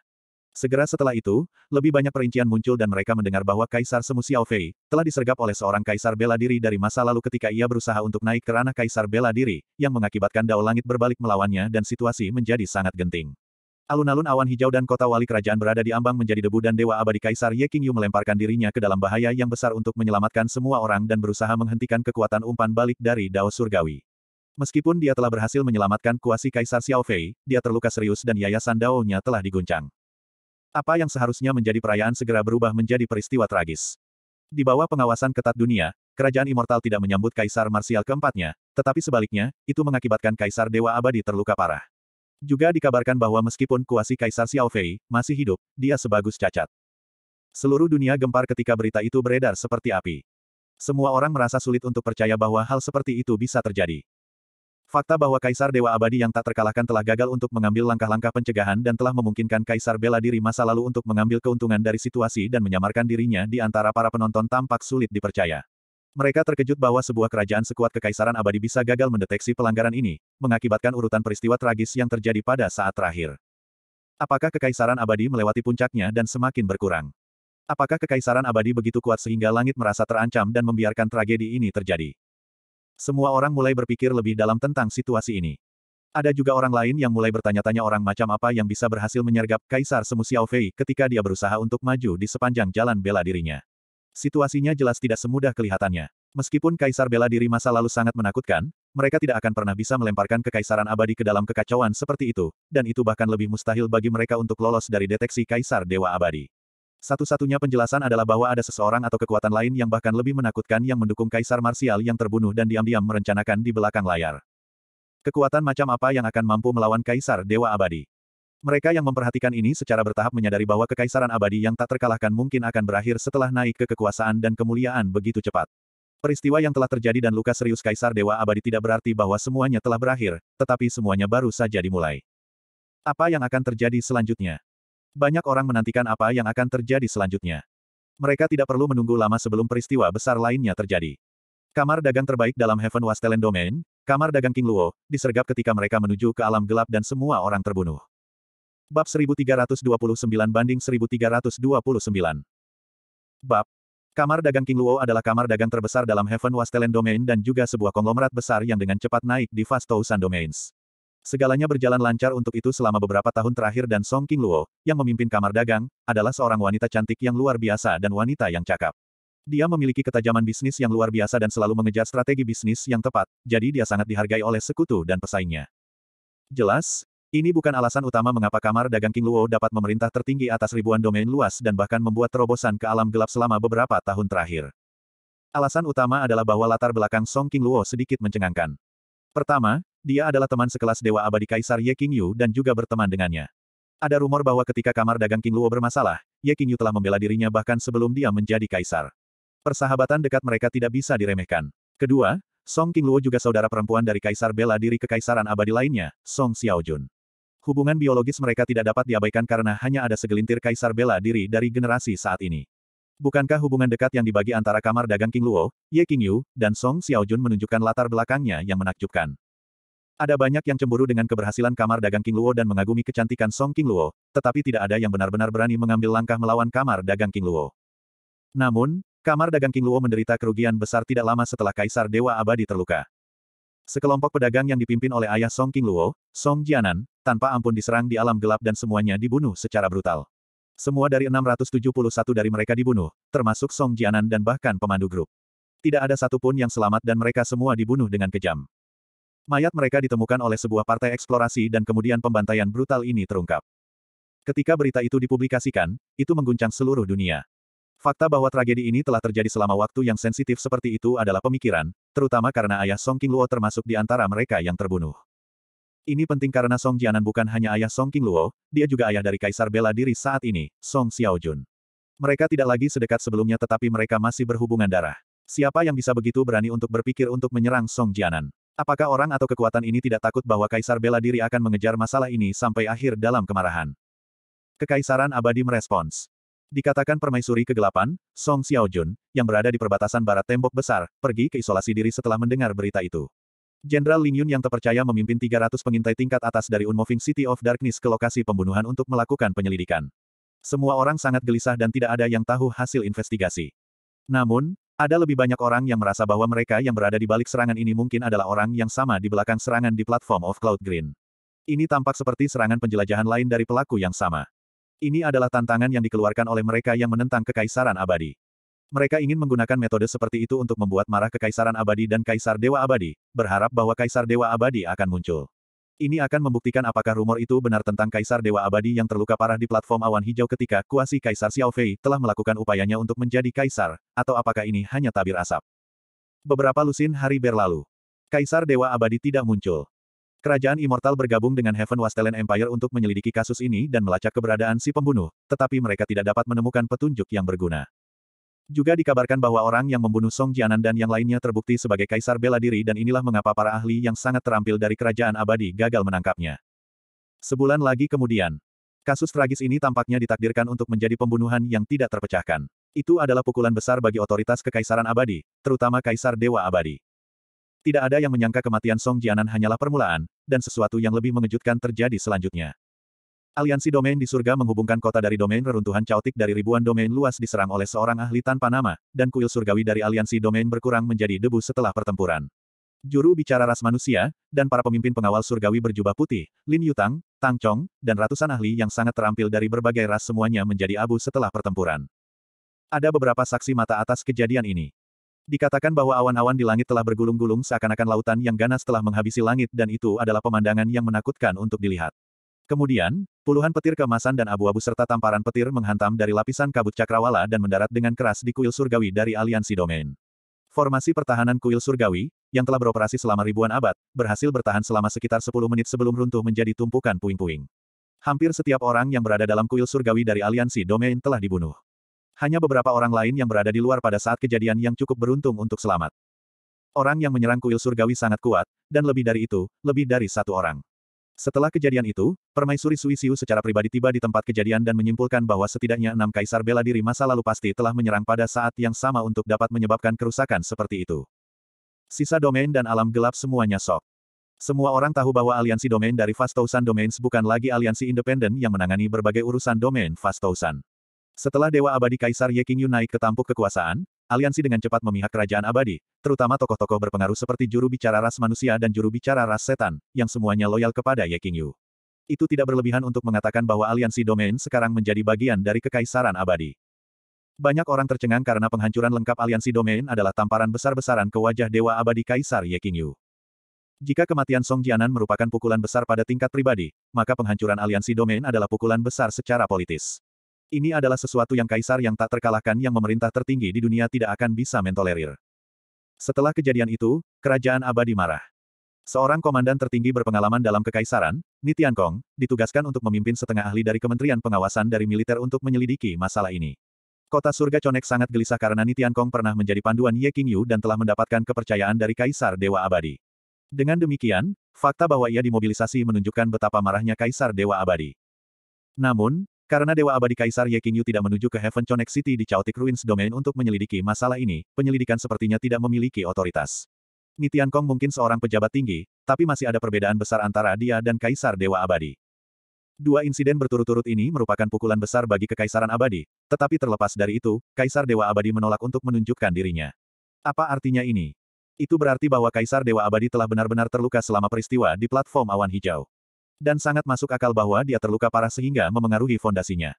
Kalau tidak, dia pasti akan muncul, karena penampilan pendek saja sudah cukup untuk menenangkan militer. Siapa pun yang memiliki otak akan dapat mencapai kesimpulan ini setelah memikirkan hal ini. Sekarang Kaisar Dewa Abadi Ye Qingyu terluka sangat serius sehingga dia tidak dapat muncul, bukankah itu berarti bahwa pemerintahan Kekaisaran Abadi yang mulia akan segera berakhir? Jika Kekaisaran Abadi runtuh, akankah itu menyebabkan periode kekacauan dan anarki di mana setiap orang akan berjuang untuk sebidang tanah? Ini merupakan pukulan besar bagi makhluk hidup biasa dan kekuatan yang lebih kecil, tetapi itu adalah alasan besar untuk bersuka cita bagi orang-orang yang ambisius dan haus kekuasaan. Ini berarti bahwa saat mereka akhirnya tiba dan mereka dapat melakukan apa pun yang mereka inginkan tanpa harus dikendalikan oleh hukum dan perintah yang dilaksanakan oleh Kaisar Dewa Abadi. Ini khususnya sekarang karena zaman kemasan kemakmuran besar telah tiba dan para ahli yang sangat terampil muncul dalam jumlah besar yang telah mencapai terobosan dalam tahap budidaya mereka di sepanjang jalan bela diri. Orang-orang yang ambisius ini, yang sekarang lebih berkuasa dari sebelumnya, menjadi lebih haus akan kekuasaan. Pada saat yang sama, banyak orang dan pasukan bertanya-tanya kekuatan apa yang ada di balik serangan terhadap Kaisar Siasius dan aliansi domain.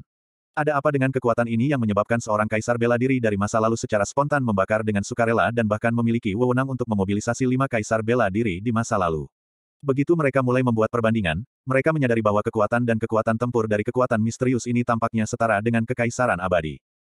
Ini memang berita yang menakutkan. Sejak kapan kekuatan mengerikan seperti itu ada di dunia ini? Mungkinkah roh jahat dari semua jenis menari dalam pesta pora yang liar? Atau kebangkitan para dewa? Sama seperti seluruh dunia masih terhuyung-huyung karena keterkejutan dan ketidakpercayaan dari peristiwa selama beberapa bulan terakhir, sesuatu yang bahkan lebih mengejutkan terjadi. Dojo abadi di domain naga langit kuno telah diserang secara brutal. Serangan ini hampir persis sama dengan serangan terhadap aliansi domain. Beberapa kaisar bela diri dari masa lalu telah bergabung untuk menyerang dojo abadi dalam upaya untuk mengulangi kehancuran yang disebabkan di kuil surgawi dari aliansi domain. Mereka jelas berniat untuk menghancurkan dojo abadi, tapi kali ini, dojo abadi disiapkan dan permaisuri Sui Siu sudah menjaga dojo abadi. Dia membalas dengan kuat dan memaksa para ahli yang telah menyerang untuk mundur. Dojo abadi aman. Permaisuri Suisiu melepaskan kekuatan yang membuat seluruh dunia gemetar ketakutan ketika dia bertarung melawan penguasa militer masa lalu. Ada perbedaan besar dalam kekuatan antara Kaisar Bela Diri saat ini dan Kaisar Bela Diri di masa lalu, pungkasnya. Kejadian ini menyebar dengan sangat cepat ke seluruh dunia. Dojo abadi secara pribadi didirikan oleh Kaisar Dewa Abadi dan itu mewakili masa depan Kekaisaran Abadi.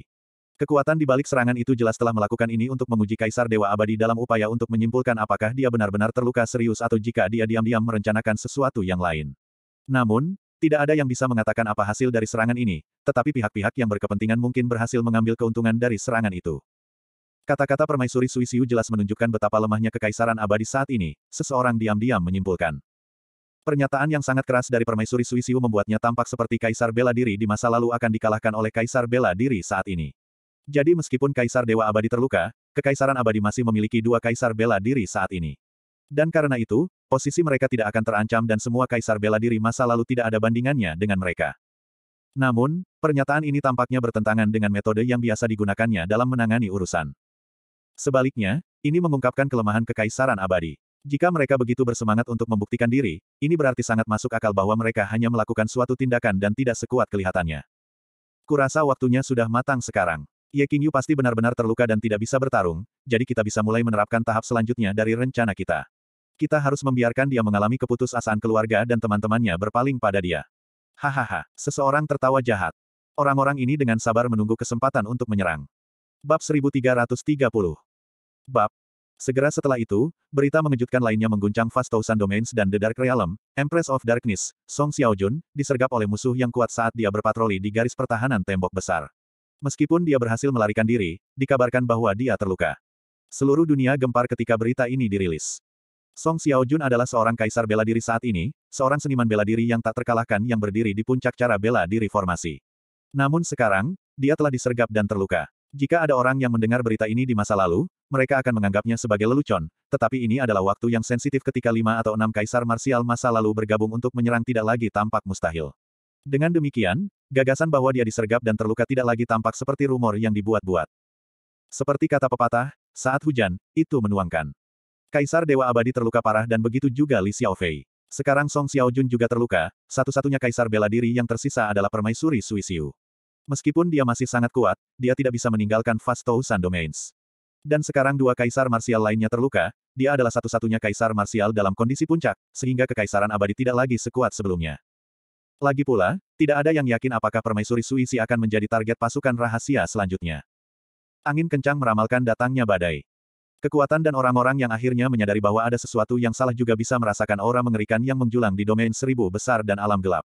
Sepertinya ada kekuatan yang diam-diam bersembunyi di kegelapan yang mengumpulkan kekuatan dan kekuatan, dan kekuatan ini sedang menunggu kesempatan yang tepat untuk menerkam seperti binatang buas raksasa dan menelan surga dan bumi.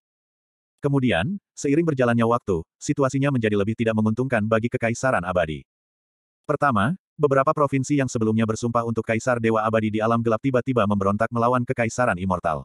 Dan para bangsawan tua yang telah memutuskan untuk bersumpah setia kepada Kaisar Dewa Abadi setelah dia menekan mereka tiba-tiba menentang pemerintahan kerajaan immortal seolah-olah mereka telah membuat perjanjian ini sebelumnya. Faksi yang lebih agresif bahkan mengeluarkan tantangan publik kepada Kaisar Dewa Abadi.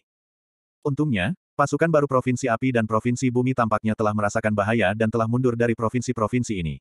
Dengan demikian, Kekaisaran Abadi tidak menderita kerugian yang signifikan di front militer. Ini bahkan lebih penting karena Provinsi Api dan Provinsi Bumi adalah pasukan yang secara pribadi dipersiapkan oleh Kerajaan Dewa Abadi. Pasukan ini berhasil mempertahankan kemampuan mereka untuk bertarung, tetapi mereka tampaknya pucat dibandingkan dengan kekuatan pemberontak yang dipanggil oleh bangsawan tua yang agresif. Dua dari sepuluh batalion utama Kekaisaran Abadi melakukan pemberontakan dan ada perselisihan internal di dalam militer. Kekuatan yang setia pada Kekaisaran Abadi mulai berada dalam posisi yang tidak menguntungkan. Kekaisaran abadi telah naik ke kekuasaan terlalu cepat dan terlalu mengandalkan kekuatan satu orang untuk menghancurkan semua perlawanan. Kekaisaran abadi mungkin tampak sangat luar biasa, tetapi fondasi mereka akhirnya terbukti tidak stabil. Waktunya berkuasa terlalu singkat. Saya berani mengatakan bahwa kekaisaran abadi ditakdirkan untuk berakhir dalam waktu singkat. Kekaisaran immortal mungkin telah menyilaukan cerah, tetapi tampaknya seolah-olah periode kemuliaannya akan berumur pendek seperti meteor. Sebuah periode anarki akan segera turun ke dunia. Hehe, Aku ingin melihat bagaimana Dewa Abadi Kaisar Ye Qingyu akan mati. Segala macam rumor beredar di berbagai domain dari kedua dunia. Kedua dunia telah menyambut zaman kemasan kemakmuran beberapa bulan yang lalu dan semua orang menyanyikan pujian Kaisar Dewa Abadi dan bersumpah setia kepada Kerajaan Abadi. Tapi sekarang, zaman telah berubah dan beberapa kekuatan ambisius mulai menggerakkan publik dan menyebarkan segala macam ketidakbenaran tentang Kekaisaran Abadi ketika mereka bersiap untuk mengambil keuntungan dari waktu yang tepat ini. Saat situasinya memburuk, pengawasan terhadap respon Kekaisaran Abadi semakin intensif. Tiga hari kemudian, Kerajaan Abadi menyegel dojo abadi dan gerbang domain dari domain naga langit kuno, dan menghentikan praktik menerima murid sepanjang tahun. Ini membuatnya seolah-olah berusaha melarikan diri dari bencana. Semua orang bisa tahu bahwa Kekaisaran Abadi telah sangat lemah setelah berita ini dipublikasikan. Kekaisaran Abadi tidak akan pernah bereaksi sedemikian rupa di masa lalu. Sebelum kedua dunia dapat sepenuhnya memproses informasi ini, rumor lain mulai beredar, permaisuri surga Wastelen Domain, Yu Xiaoxing, diam-diam memasuki alam gelap dengan kedok memeriksa pasukan baru Provinsi Api dan Provinsi Bumi bersama dengan pejabat terpercaya. Kemudian, ada juga spekulasi bahwa permaisuri Yu Xiaoxing tidak pergi ke Provinsi Api dan Provinsi Bumi tetapi segera menggunakan lorong rahasia untuk memasuki Guardian Royal City setelah dia memasuki alam gelap. Berbagai kekuatan segera memanfaatkan semua saluran informasi mereka dalam upaya untuk menvalidasi rumor ini. Semua orang tercengang karena secara publik diketahui bahwa Dewa Abadi Kaisar Ye Qingyu dan Li Xiaofei keduanya berada di Royal City. Paling-paling, Yu Xiaoxing bisa mengunjungi kekasihnya, dan paling buruk, ini mungkin bisa menjadi pertanda bahwa kekaisaran surga Wastelen akan segera berakhir. Dia mungkin telah mengunjungi Ye Qingyu di Royal City dalam upaya untuk melakukan perjuangan putus asa terakhir. Segala macam spekulasi menjadi liar. Gerakan beberapa tokoh penting dalam kekaisaran abadi akan dipublikasikan pada tingkat pertama, tidak peduli seberapa rahasia gerakan ini seharusnya. Seolah-olah ada kekuatan tak kasat mata di tempat kerja yang terus-menerus membuat berita ini dipublikasikan. Sebagai rumor ini terus-menerus divalidasi, ada juga rumor yang tidak benar terbang di sekitar yang membuat Kekaisaran Surga Wastelen dan Kekaisaran Abadi sangat gelisah. Bahkan mereka yang tadinya sangat loyal mulai merasa gelisah. Selanjutnya, desas-desus beredar bahwa Permaisuri Suisiu, yang telah berjaga-jaga atas dojo abadi, dan Permaisuri Kegelapan, yang dikabarkan terluka, juga diam-diam pergi ke kota kerajaan Guardian untuk bertemu dengan Dewa Abadi Kaisar Ye. Itu juga dikabarkan bahwa gubernur, staf kekaisaran, dan ahli kerajaan kuasa kaisar dari provinsi yang berada di bawah kendali dewa-dewa abadi telah diperintahkan untuk menuju ke kota kerajaan oleh kekaisaran abadi.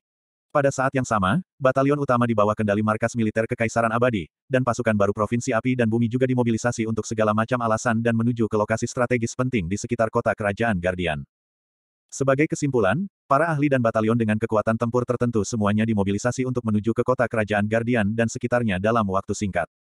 Aku bertaruh Dewa Abadi Kaisar Ye Qingyu gemetaran karena sepatu botnya, seseorang berkata dengan nada mengejek. Kaisar Dewa Abadi, yang seharusnya tak kenal takut dan tak terkalahkan, kini terpaksa mengandalkan orang luar dan militer untuk menjaga kota tempat ia berada. Ini adalah tanda pengecut dan juga menunjukkan seberapa jauh kekaisaran abadi telah jatuh. Kesimpulan yang jelas dari rumor ini adalah bahwa Ye Qingyu takut dan inilah mengapa ia memanggil semua kekuatan kekaisaran abadi ke arahnya, berencana untuk mengubah kota kerajaan Guardian menjadi benteng yang tak tertembus.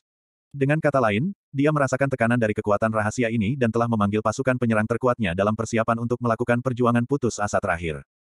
Kamu Qingyu sudah selesai, seseorang memperkirakan. Ketika seorang kaisar yang dulunya tak terkalahkan menunjukkan tanda-tanda ketakutan yang jelas dan mulai membuat rencana untuk mundur, penurunannya hampir pasti. Segala macam insiden, baik besar maupun kecil, terus terjadi di seluruh ribuan domain besar dan alam gelap. Semua insiden ini dirancang untuk menempatkan kekaisaran surga Wastelen dan kekaisaran abadi dalam cahaya yang buruk. Jika kematian Song Jianan dan penghancuran aliansi domain merupakan tantangan bagi otoritas Kaisar Dewa Abadi, maka seiring dengan memburuknya situasi, ini bukan lagi tentang tantangan terhadap otoritasnya, itu mulai tentang kelangsungan hidup kerajaannya. Fakta bahwa kekaisaran ini yang telah membawa masa kemasan kemakmuran yang belum pernah terjadi sebelumnya tiba-tiba mengalami penurunan yang tajam dalam satu setengah tahun yang tampaknya tidak dapat dipercaya. Namun, setelah semua berita ini mulai berputar-putar kurang dari sepuluh hari, semua orang terpana dengan berita yang bahkan lebih mencengangkan. Kekuatan rahasia yang bersembunyi di balik layar akhirnya muncul. Dalam sehari, beberapa lusin figur, yang sangat kuat dan membawa aura yang membuatnya tampak seperti penguasa turun ke tanah ini, tiba di langit di atas kota kerajaan Guardian. Tubuh mereka bersinar dengan kaisar Ki dan mereka diselimuti oleh kemegahan kaisar yang mempesona. Mereka tampak seperti bintang yang mempesona yang turun ke langit di atas Guardian Royal City. Mereka memancarkan niat membunuh yang jelas dan memberikan tekanan besar sehingga mereka menutup seluruh kota kerajaan dan daerah sekitarnya, yang membentang puluhan ribu kilometer. Sudah waktunya membalas dendamku. Sesosok berdiri tinggi di atas semua kaisar marsial ini seperti Raja Surgawi memerintah pasukannya. Dia berdiri di puncak sembilan surga dan seluruh tubuhnya bersinar dengan cahaya biru yang tampak seperti api dendam dari kedalaman neraka. Dia memancarkan aura mematikan yang dingin dan niat membunuh. Itu tidak lain adalah Kaisar Langit yang telah hilang untuk sementara waktu. Dia akhirnya muncul. Berbeda dengan waktu sebelumnya ketika dia melarikan diri dalam kekalahan, Kaisar Langit dan kekuatan hantu yang memancarkan darinya berkali-kali lebih kuat dari sebelumnya.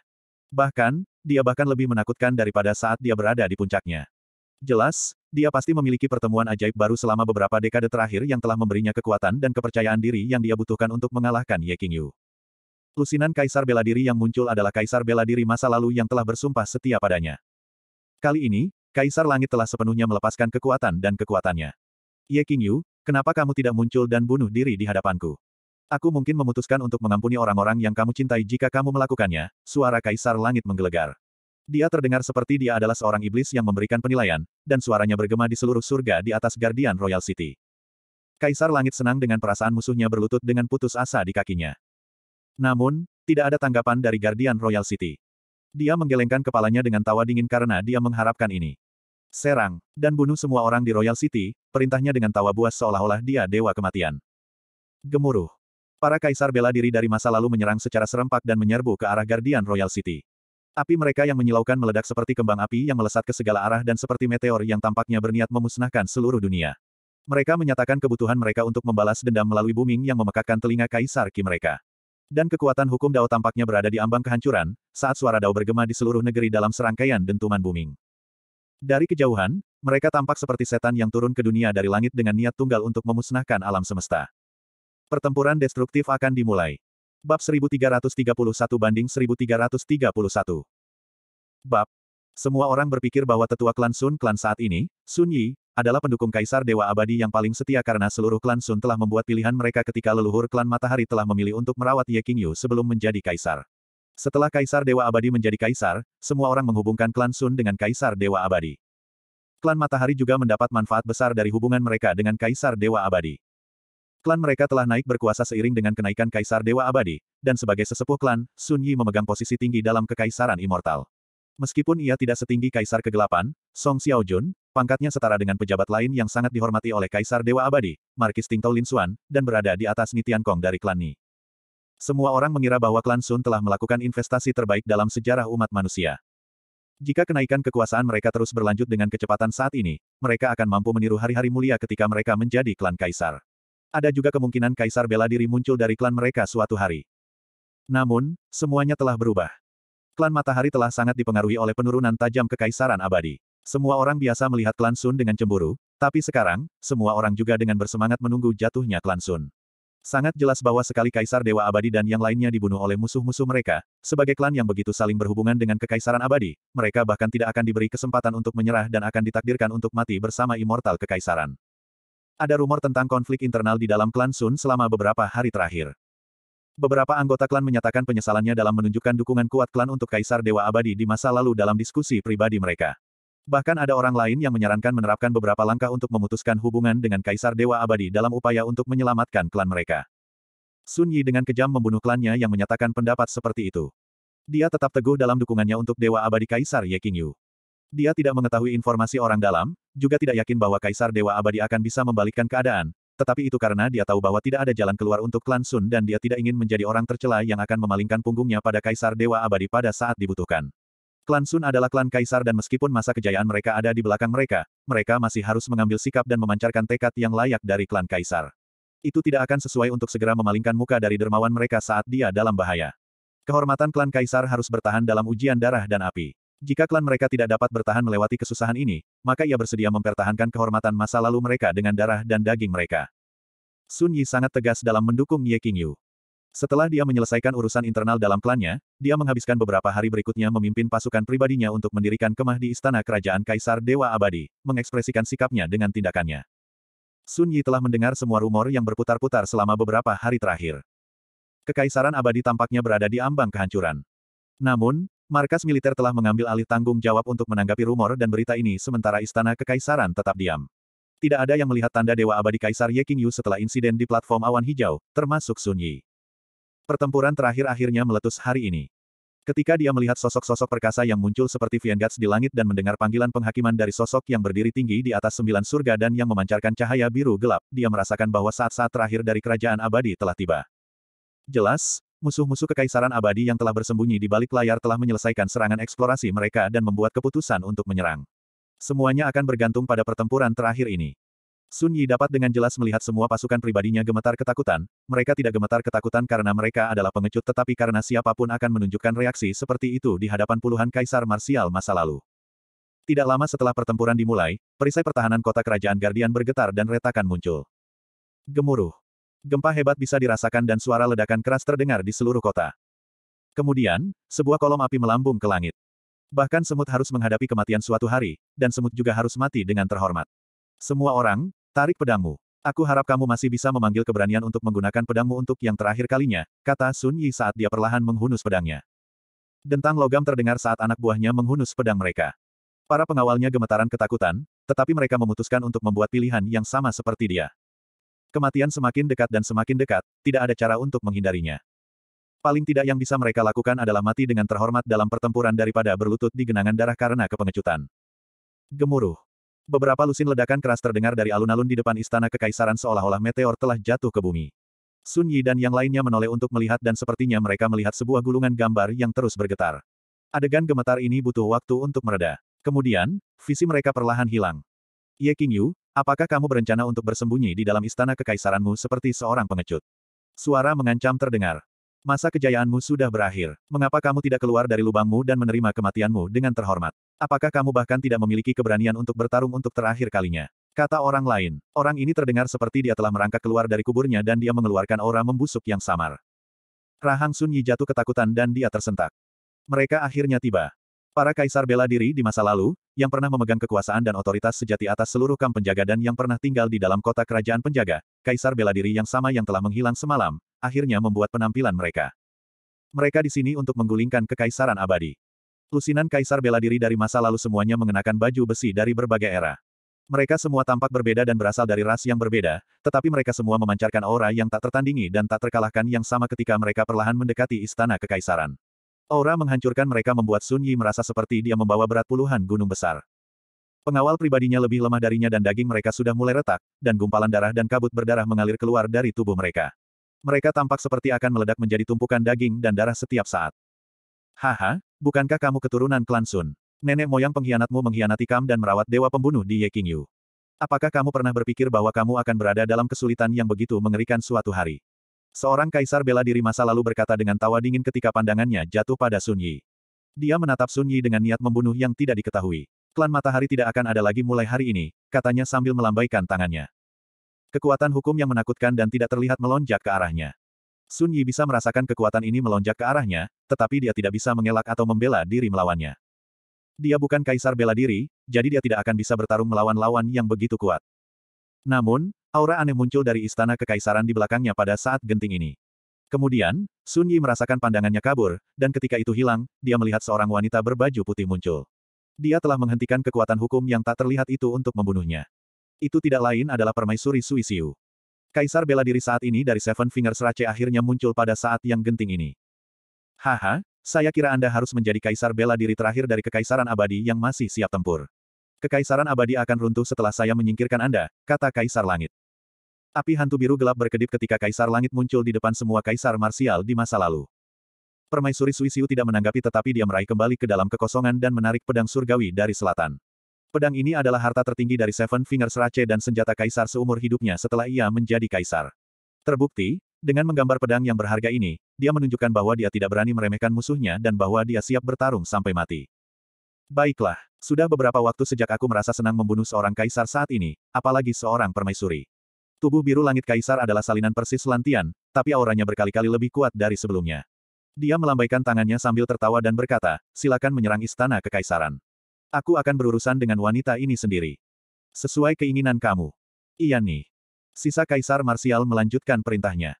Kaisar Marsial ini, yang pernah memerintah tertinggi di masa masing-masing, dikurangi menjadi tentara jinak dan taat di depan Kaisar Langit. Permaisuri Suisiu mencoba menghentikan mereka, tetapi Kaisar Langit mencegahnya mengejar mereka. Meskipun dia adalah Kaisar bela diri saat ini, dia terpaksa menggunakan semua kekuatannya saat melawan Kaisar Langit. Mata Sun Yi menyala semoga, tetapi ketika dia melihat apa yang terjadi, harapan apa pun yang dia rasakan lenyap dan matanya dengan cepat redup. Ya, penampilan permaisuri Suisiu masuk akal karena mereka telah dipersiapkan untuk musuh mereka untuk mengejar mereka. Kaisar bela diri dari masa lalu yang menyerang sebelumnya perlahan mendekati Sun Yi. Dia tersenyum sinis dan perlahan-lahan mengulurkan tangannya ke kepala Sun Yi. Dia tidak menggunakan Ki Kaisar, tetapi dia jelas bermaksud untuk mempermalukan Sun Yi dengan meremas kepalanya ke titik ledakan. Sun Yi tidak bisa bergerak atau melakukan perlawanan. Seorang ahli bela diri kaisar-kaisar puncak tampak lemah seperti semut di hadapan kaisar marsial yang kuat. Aku ragu ada orang yang bisa menyelamatkanmu sekarang, kata kaisar bela diri dengan tawa dingin. Namun, suara lain menjawab dengan menggoda, oh, begitu ya. Saya pikir Anda mungkin salah tentang itu. Sebuah telapak tangan yang seperti cakar burung melesat dan mencengkeram tangan kaisar bela diri di masa lalu. Kekuatan dari telapak tangan ini membuat kaisar bela diri dari masa lalu menjadi pucat. Bahkan sebelum dia bisa bereaksi, ada suara retak dan telapak tangannya menjadi darah dan abu. Kamu siapa? Katanya sambil mundur ketakutan. Sesosok muncul dalam sekejap dan ritme dao yang terdengar seperti ombak yang menyentuh pantai bisa samar-samar terdengar. Seorang pria tua yang tampak lusuh muncul di samping Sun Yi dan dia tersenyum dengan cara yang menyenangkan sehingga dia tidak tampak seperti ahli bela diri. Sulit untuk menghubungkan keberadaan kuat yang telah menghancurkan tangan kaisar marsial ini dengan pria tua yang terlihat lusuh ini. Kaisar marsial lainnya dari masa lalu berhenti di jejak mereka ketika mereka melihat adegan ini karena mereka merasakan bahwa pria ini adalah ancaman. Semua orang menoleh untuk melihat pria tua yang tampak lusuh ini. Pria tua yang terlihat lusuh ini membungkuk seperti seorang pangeran yang elegan dan mengangkat satu tangan sebagai salam. Kemudian, dia berkata sambil tersenyum, Yang terhormat, saya Raja Inspirasi dari domain laut tanpa batas. Apakah Anda mencoba untuk masuk ke dalam istana kekaisaran untuk melihat Little Ye Yu? Kemudian, pertama-tama Anda harus melewati saya dan teman-teman saya. Saat suaranya menghilang, air dari Sungai Kuning tiba-tiba muncul di sekitar Istana Kekaisaran tanpa suara, dan seluruh Istana Kekaisaran dan alun-alun tiba-tiba tampak bagian dari domain Sungai Kuning. Sebelum Kaisar bela diri dari masa lalu bisa bereaksi, suara samar perahu kecil yang berjalan di sepanjang sungai bisa terdengar. Bab 1332 Going All In Air berwarna kuning muncul tanpa suara. Ketika Kaisar Marsial dari era sebelumnya menemukan dengan terkejut bahwa Istana Kekaisaran, bersama dengan seluruh bagian depan lapangan parade, sudah tertutupi oleh air kuning, itu sudah sampai ke pergelangan kaki mereka. Ini air dari jeram. Air dari dunia bawah. Beberapa Kaisar Marsial berseru saat mereka merasakan aura dingin. Suara perahu yang didayung menjadi lebih jelas. Sebuah perahu kuno yang sudah usang menunggang ombak kuning besar dari kejauhan. Orang-orangan sawah mengenakan topi bambu berbentuk kerucut berdiri di haluannya. Itu memegang dayung panjang di tangannya dan mendayung ke arah mereka. Kekuatan agung yang menakutkan dan tak terlukiskan mengelilingi kapal kuno itu. The Ferryman of the Netherworld. Beberapa kaisar marsial berseru. Jelas, mereka tahu tentang identitas orang-orangan sawah itu.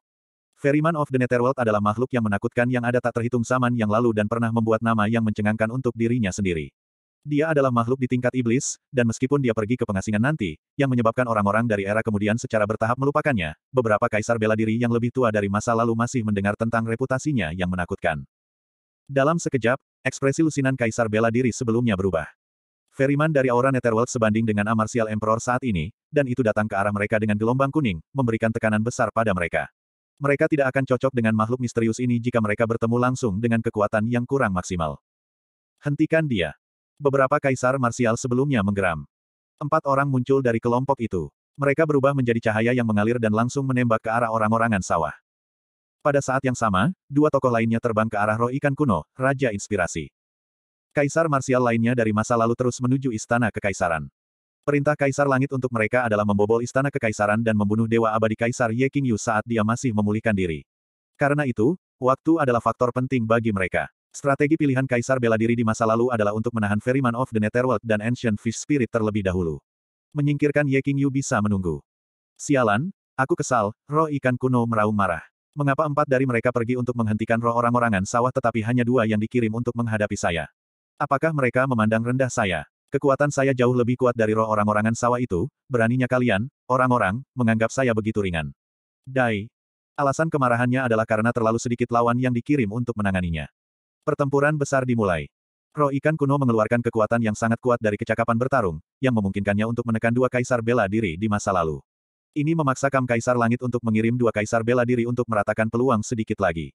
Hasil dari pertarungan sekarang bisa berayun ke arah lain. Baik dia dan penambang dari Netherworld berhasil membuat delapan kaisar bela diri masa lalu sibuk.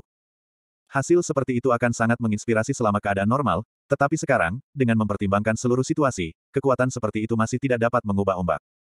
Puluhan kaisar bela diri masa lalu yang tetap maju ke istana kekaisaran lagi. Sun Yi mengeluarkan raungan yang marah, memicu keinginannya untuk bertarung dan sebagai dorongan bagi para pejuang di belakangnya. Namun, aura yang dilepaskan oleh kaisar bela diri yang maju dari masa lalu sudah cukup untuk menekan mereka, memaksa para pejuang untuk mengambil beberapa langkah mundur. Luka muncul di sekujur tubuh mereka, dan darah mulai menyembur keluar. Tiba-tiba, sinar cahaya surgawi ditembakkan dari dalam istana kekaisaran. Kaisar bela diri yang berada di depan yang lain merasakan dadanya bergetar sebelum dia bahkan bisa bereaksi. Seluruh tubuhnya kemudian ditembak ke belakang seperti ragdoll yang patah yang ditembak oleh balista. Suara mendesing. Pada saat ini, suara panah yang menusuk bersiul di udara terdengar. Sebuah panah tersangkut di dada kaisar bela diri. Panah besar, dengan batang hitam dan bulu putih, hampir setengah dimasukkan ke dalam dirinya dan hampir memakukannya rata ke tanah. Ujung putih berbulu masih bergetar, dan batang hitamnya bercahaya dengan rona aneh. Formasi oranye merah seperti kecebong misterius bersinar, dan mereka tampaknya menekan kekuatan Kaisar Marsial, mencegah dia dari menghapus panah. Kaisar Marsial lainnya segera terkejut. Orang macam apa yang bisa menyebabkan luka parah pada Kaisar bela diri di masa lalu dengan panah? Di hutan yang gelap, rumput bergoyang saat angin bertiup. Jenderal menarik busurnya di malam hari, dan ketika ia membawa serta yang lain untuk mencari harimau yang ditebang oleh panah berbulu putihnya, mereka malah menemukannya terkubur di batu nisan. Sebuah suara datang dari balik tembok pembatas menara-menara kekaisaran. Seseorang yang gemuk, yang kelihatan seperti bola dan mengenakan baju besi emas, sedang menggambar busurnya dengan tangan kiri dan merangkai panah dengan tangan kanannya, dan melantunkan puisi yang dimaksudkan untuknya dengan ekspresi tegas. Tidak diragukan lagi, orang yang baru saja menembakkan panah itu adalah dia. Divine Federate General, Sun Yi berseru. Dia kemudian tiba-tiba menyadari bahwa setelah Divine Federate General melepaskan panahnya, aura penghancur yang dihasilkan dari kemah Kaisar Langit telah sepenuhnya menghilang. Itu langsung hancur oleh panah. Tetapi, bagaimana ini bisa terjadi? Sun Yi mengerti jenderal surgawi ini. Dia tahu bahwa lima jenderal surgawi besar dan hewan peliharaan pertempuran monyet surgawi Sun Wukong telah dipindahkan dari Heaven Wastelen Domain ke Guardian Royal City. Keenamnya, kecuali jenderal bulu-bulu surgawi, Wang Lijing, memiliki sikap dan pola yang lebih baik daripada Sun Yi, mereka bisa dianggap sebagai teman pertempuran yang dapat diandalkan. Hanya Divine Federate General yang bertindak sembrono. Dia serakah dan ber, dan dia memiliki banyak kebiasaan buruk. Dia tidak berperilaku seperti seorang ahli sedikit pun, dan dia tampaknya tidak memiliki tingkat budidaya yang tinggi di permukaan. Sun Yi percaya bahwa dia hanya di sini untuk membuat angka, tetapi dia tidak berharap bahwa keanggunan tembakannya sebanding dengan keanggunan Kaisar bela diri saat ini. Hari ini, busur bulu surgawi akan muncul kembali. Bunuh. Sosok Wang Lijin berkedip ketika dia langsung melompat dari atas kastil ke udara. Tali busurnya bergetar, dan terdengar seperti dao dan guntur bergulir. Tidak ada yang bisa melacak berapa banyak panah yang dilepaskan dalam sekejap. Pancuran panah emas menghujani kaisar marsial di masa lalu. Ekspresi baik untuk apa-apa dan nakal sudah hilang dari wajah Wang Lijin. Itu telah digantikan oleh penampilan yang tegas dan haus darah, sesuatu yang jarang terlihat pada dirinya. Seruan terdengar. Mari kita selesaikan skor kita selama beberapa juta tahun terakhir hari ini. Ayo, bunuh. Suara lain terdengar. Wen Wan muncul di alun-alun, kapak besar berwarna darah di tangannya. Dia sama menakutkannya dengan harimau gila, seperti kekuatan agung melingkari tubuhnya. Bila kapaknya berkilauan saat dia merobek kaisar bela diri yang sebelumnya menjadi dua dari pinggangnya. Kaisar bahkan tidak bisa bereaksi. Api dapat membakar kebencian kuno, dan para pahlawan bangkit dari nyala api. Apakah kamu siap menghadapi dunia nyala api? Hahaha, suara sedih Gao Diping terdengar, berisi tawa gila. Air kuning dari jeram sudah sampai ke betis semua orang. Itu juga dikenal sebagai air kematian yang bisa menenggelamkan kaisar, tetapi sebaliknya, berperilaku seperti minyak tanah. Dalam sekejap mata, itu membantu Realm of Fire, Gao Diping menguatkan ke tingkat yang menakutkan, seolah-olah hendak membakar segala sesuatu di jalannya. Para kaisar bela diri merasa terancam saat mereka tetap dalam nyala api. Proses pemurnian akhir dan penghapusan semua pembatasan dimaksudkan untuk hari ini. Semuanya akan beres hari ini. Para Dewa Jenderal Zi dan Jue muncul juga. Yang berbeda adalah bahwa kekuatan mereka telah mengalami transformasi besar. Kekuatan mereka berada pada tingkat yang tak terlukiskan sekarang, jauh melebihi kekuatan Kaisar bela diri di masa lalu, seolah-olah itu telah kembali ke tingkat yang sama ketika pengadilan cahaya surgawi menaklukkan dunia. Tidak, mereka bahkan lebih kuat dari kondisi puncak mereka sebelumnya. Mereka telah memahami berbagai bentuk kehidupan setelah menjalani kehidupan reinkarnasi yang tak terhitung jumlahnya hingga hari ini. Akhirnya, mereka mengakhiri perjalanan mereka dalam siklus reinkarnasi dan tidak lagi ingin pergi ke kehidupan berikutnya. Kehidupan ini akan menjadi yang terakhir bagi mereka, dan mereka akan mendapatkan kembali apa yang telah mereka hilangkan dalam pertempuran Clutli Clear Sea dan Divine Light Court. Pencerahan yang diperoleh dari reinkarnasi dan kekuatan diri mereka sebelumnya digabungkan bersama-sama mendorong mereka untuk memasuki keadaan yang lebih kuat dari apa pun yang pernah mereka capai sebelumnya. Ledakan. Gada emas raksasa datang runtuh, langsung menggiling kaisar bela diri lain menjadi bubur. Pertempuran monyet surgawi, Sun Wukong, muncul dengan raungan keras dan marah. Itu telah mencapai tahap akhir evolusi. Kekuatan pertempurannya menguat dengan liar, dan itu telah melepas sel reinkarnasinya. Pada saat yang sama, sosok yang tak terlihat diam-diam dan diam-diam mengambil nyawa lawannya. Pedang merah darah berkilau. Itu tampak seperti sabit malaikat maut itu sendiri, dan bahkan kaisar bela diri di masa lalu bermandikan darah mereka sendiri. Para pejuang terkuat yang ditinggalkan oleh Kaisar Cahaya Surgawi sebelumnya akhirnya menunjukkan kekuatan puncak mereka setelah menjalani putaran reinkarnasi yang tak terhitung jumlahnya. Pertempuran sedang mengalami transformasi mendasar pada tahap ini. Munculnya enam jenderal surgawi, hewan peliharaan pertempuran monyet surgawi, penambang Belanda, roh ikan kuno, permaisuri Suisiu, dan para ahli tingkat tinggi lainnya akhirnya menyamakan hal-hal sedikit untuk Kam Kaisar Dewa Abadi. Meskipun jumlahnya masih kurang, faktor seperti itu sudah tidak penting dalam pertempuran dengan proporsi yang begitu besar. Selanjutnya, kerajaan abadi masih memiliki beberapa kartu truf di lengan bajunya. Hahaha, Hiu Surgawi sedang mencari mangsanya. Tawa simen Yeshui yang liar dan liar terdengar. Pada saat yang sama, hiu surgawi kuno sepanjang seribu meter, berwarna biru, melompat keluar dari air dangkal dan menelan keseluruhan kaisar marsial. Sarjana berwajah gelap memegang tombak tiga cabang pertempuran menunjukkan kekuatannya yang sebenarnya. Dia juga seorang kaisar. Pada saat yang sama, kelopak bunga putih jatuh dari langit. Sosok langsing putih, yang tampak seperti peribulan, turun perlahan dan bergabung dengan pertempuran. Dia adalah Bai Yuking, penerus Bai Yujing. 50 tahun yang lalu, dia sudah hampir menjadi seorang kaisar, dan sekarang, dia sudah mendapatkan pijakan di kerajaan dan memiliki hak untuk bergabung dalam pertempuran. Tidak mengherankan, Song Xiaojun, kaisar kegelapan dari kota kegelapan yang tidak bergerak, muncul pada saat ini juga. Beruang tiranik raksasa muncul, tertutup api hitam, dan turun ke alun-alun di depan istana kekaisaran dengan penuh gaya, segera menghancurkan kaisar marsial dengan satu kaki. Dewa perang perempuan yang terbungkus api tampaknya memiliki aura yang tak tertandingi. Kaisar kegelapan, yang secara luas dikabarkan telah terluka, tampaknya tidak menderita luka yang sangat serius. Dia masih memiliki kecakapan pertempuran tiada taraf, setelah semua, dia adalah permaisuri marsial dari era saat ini, dan dia menjadi satu setelah Ye Qingyu melakukan hal yang sama. Dia memiliki kekuatan surgawi dari Bloodland of Darkness. Hati Sun Yi dan para ahli biasa lainnya langsung tampak telah ditarik ke dalam perut mereka. Situasinya tidak seburuk yang mereka yakini. Lebih jauh, Sun Yi menyadari betapa terkejutnya, entah bagaimana, ruang dalam radius 5 km di sekitar istana kekaisaran tampaknya telah disegel oleh kekuatan besar yang tidak dapat diidentifikasi. Segel semacam itu tidak efektif bagi para ahli biasa, tetapi itu mencegah kekuatan kaisar dari mempengaruhi pihak lain dan dari merusak properti. Bahkan jika kaisar melepaskan kekuatan maksimum mereka, kelebihan energi yang dihasilkan oleh mereka akan tersebar 50 km jauhnya. Itu pasti ulah dewa-dewa abadi. Jika itu masalahnya, maka semuanya terkendali. Mencapai tahap terakhir evolusi, mari bertarung sampai mati, pekik kaisar bela diri dan mulai menyerang dengan liar. Roh-roh dari teman-temannya yang dihancurkan dan dipakukan ke tanah masih bertahan, dan mereka akhirnya memilih untuk memperbaiki kekuatan mereka secara maksimal untuk kembali ke kondisi puncak mereka dengan mengorbankan rentang hidup dan roh mereka. Mereka akan keluar semua. Kalau tidak, jika mereka kalah, jiwa mereka tidak akan bereinkarnasi. Pertempuran mencapai puncaknya. Bab 1333, Pembalikan.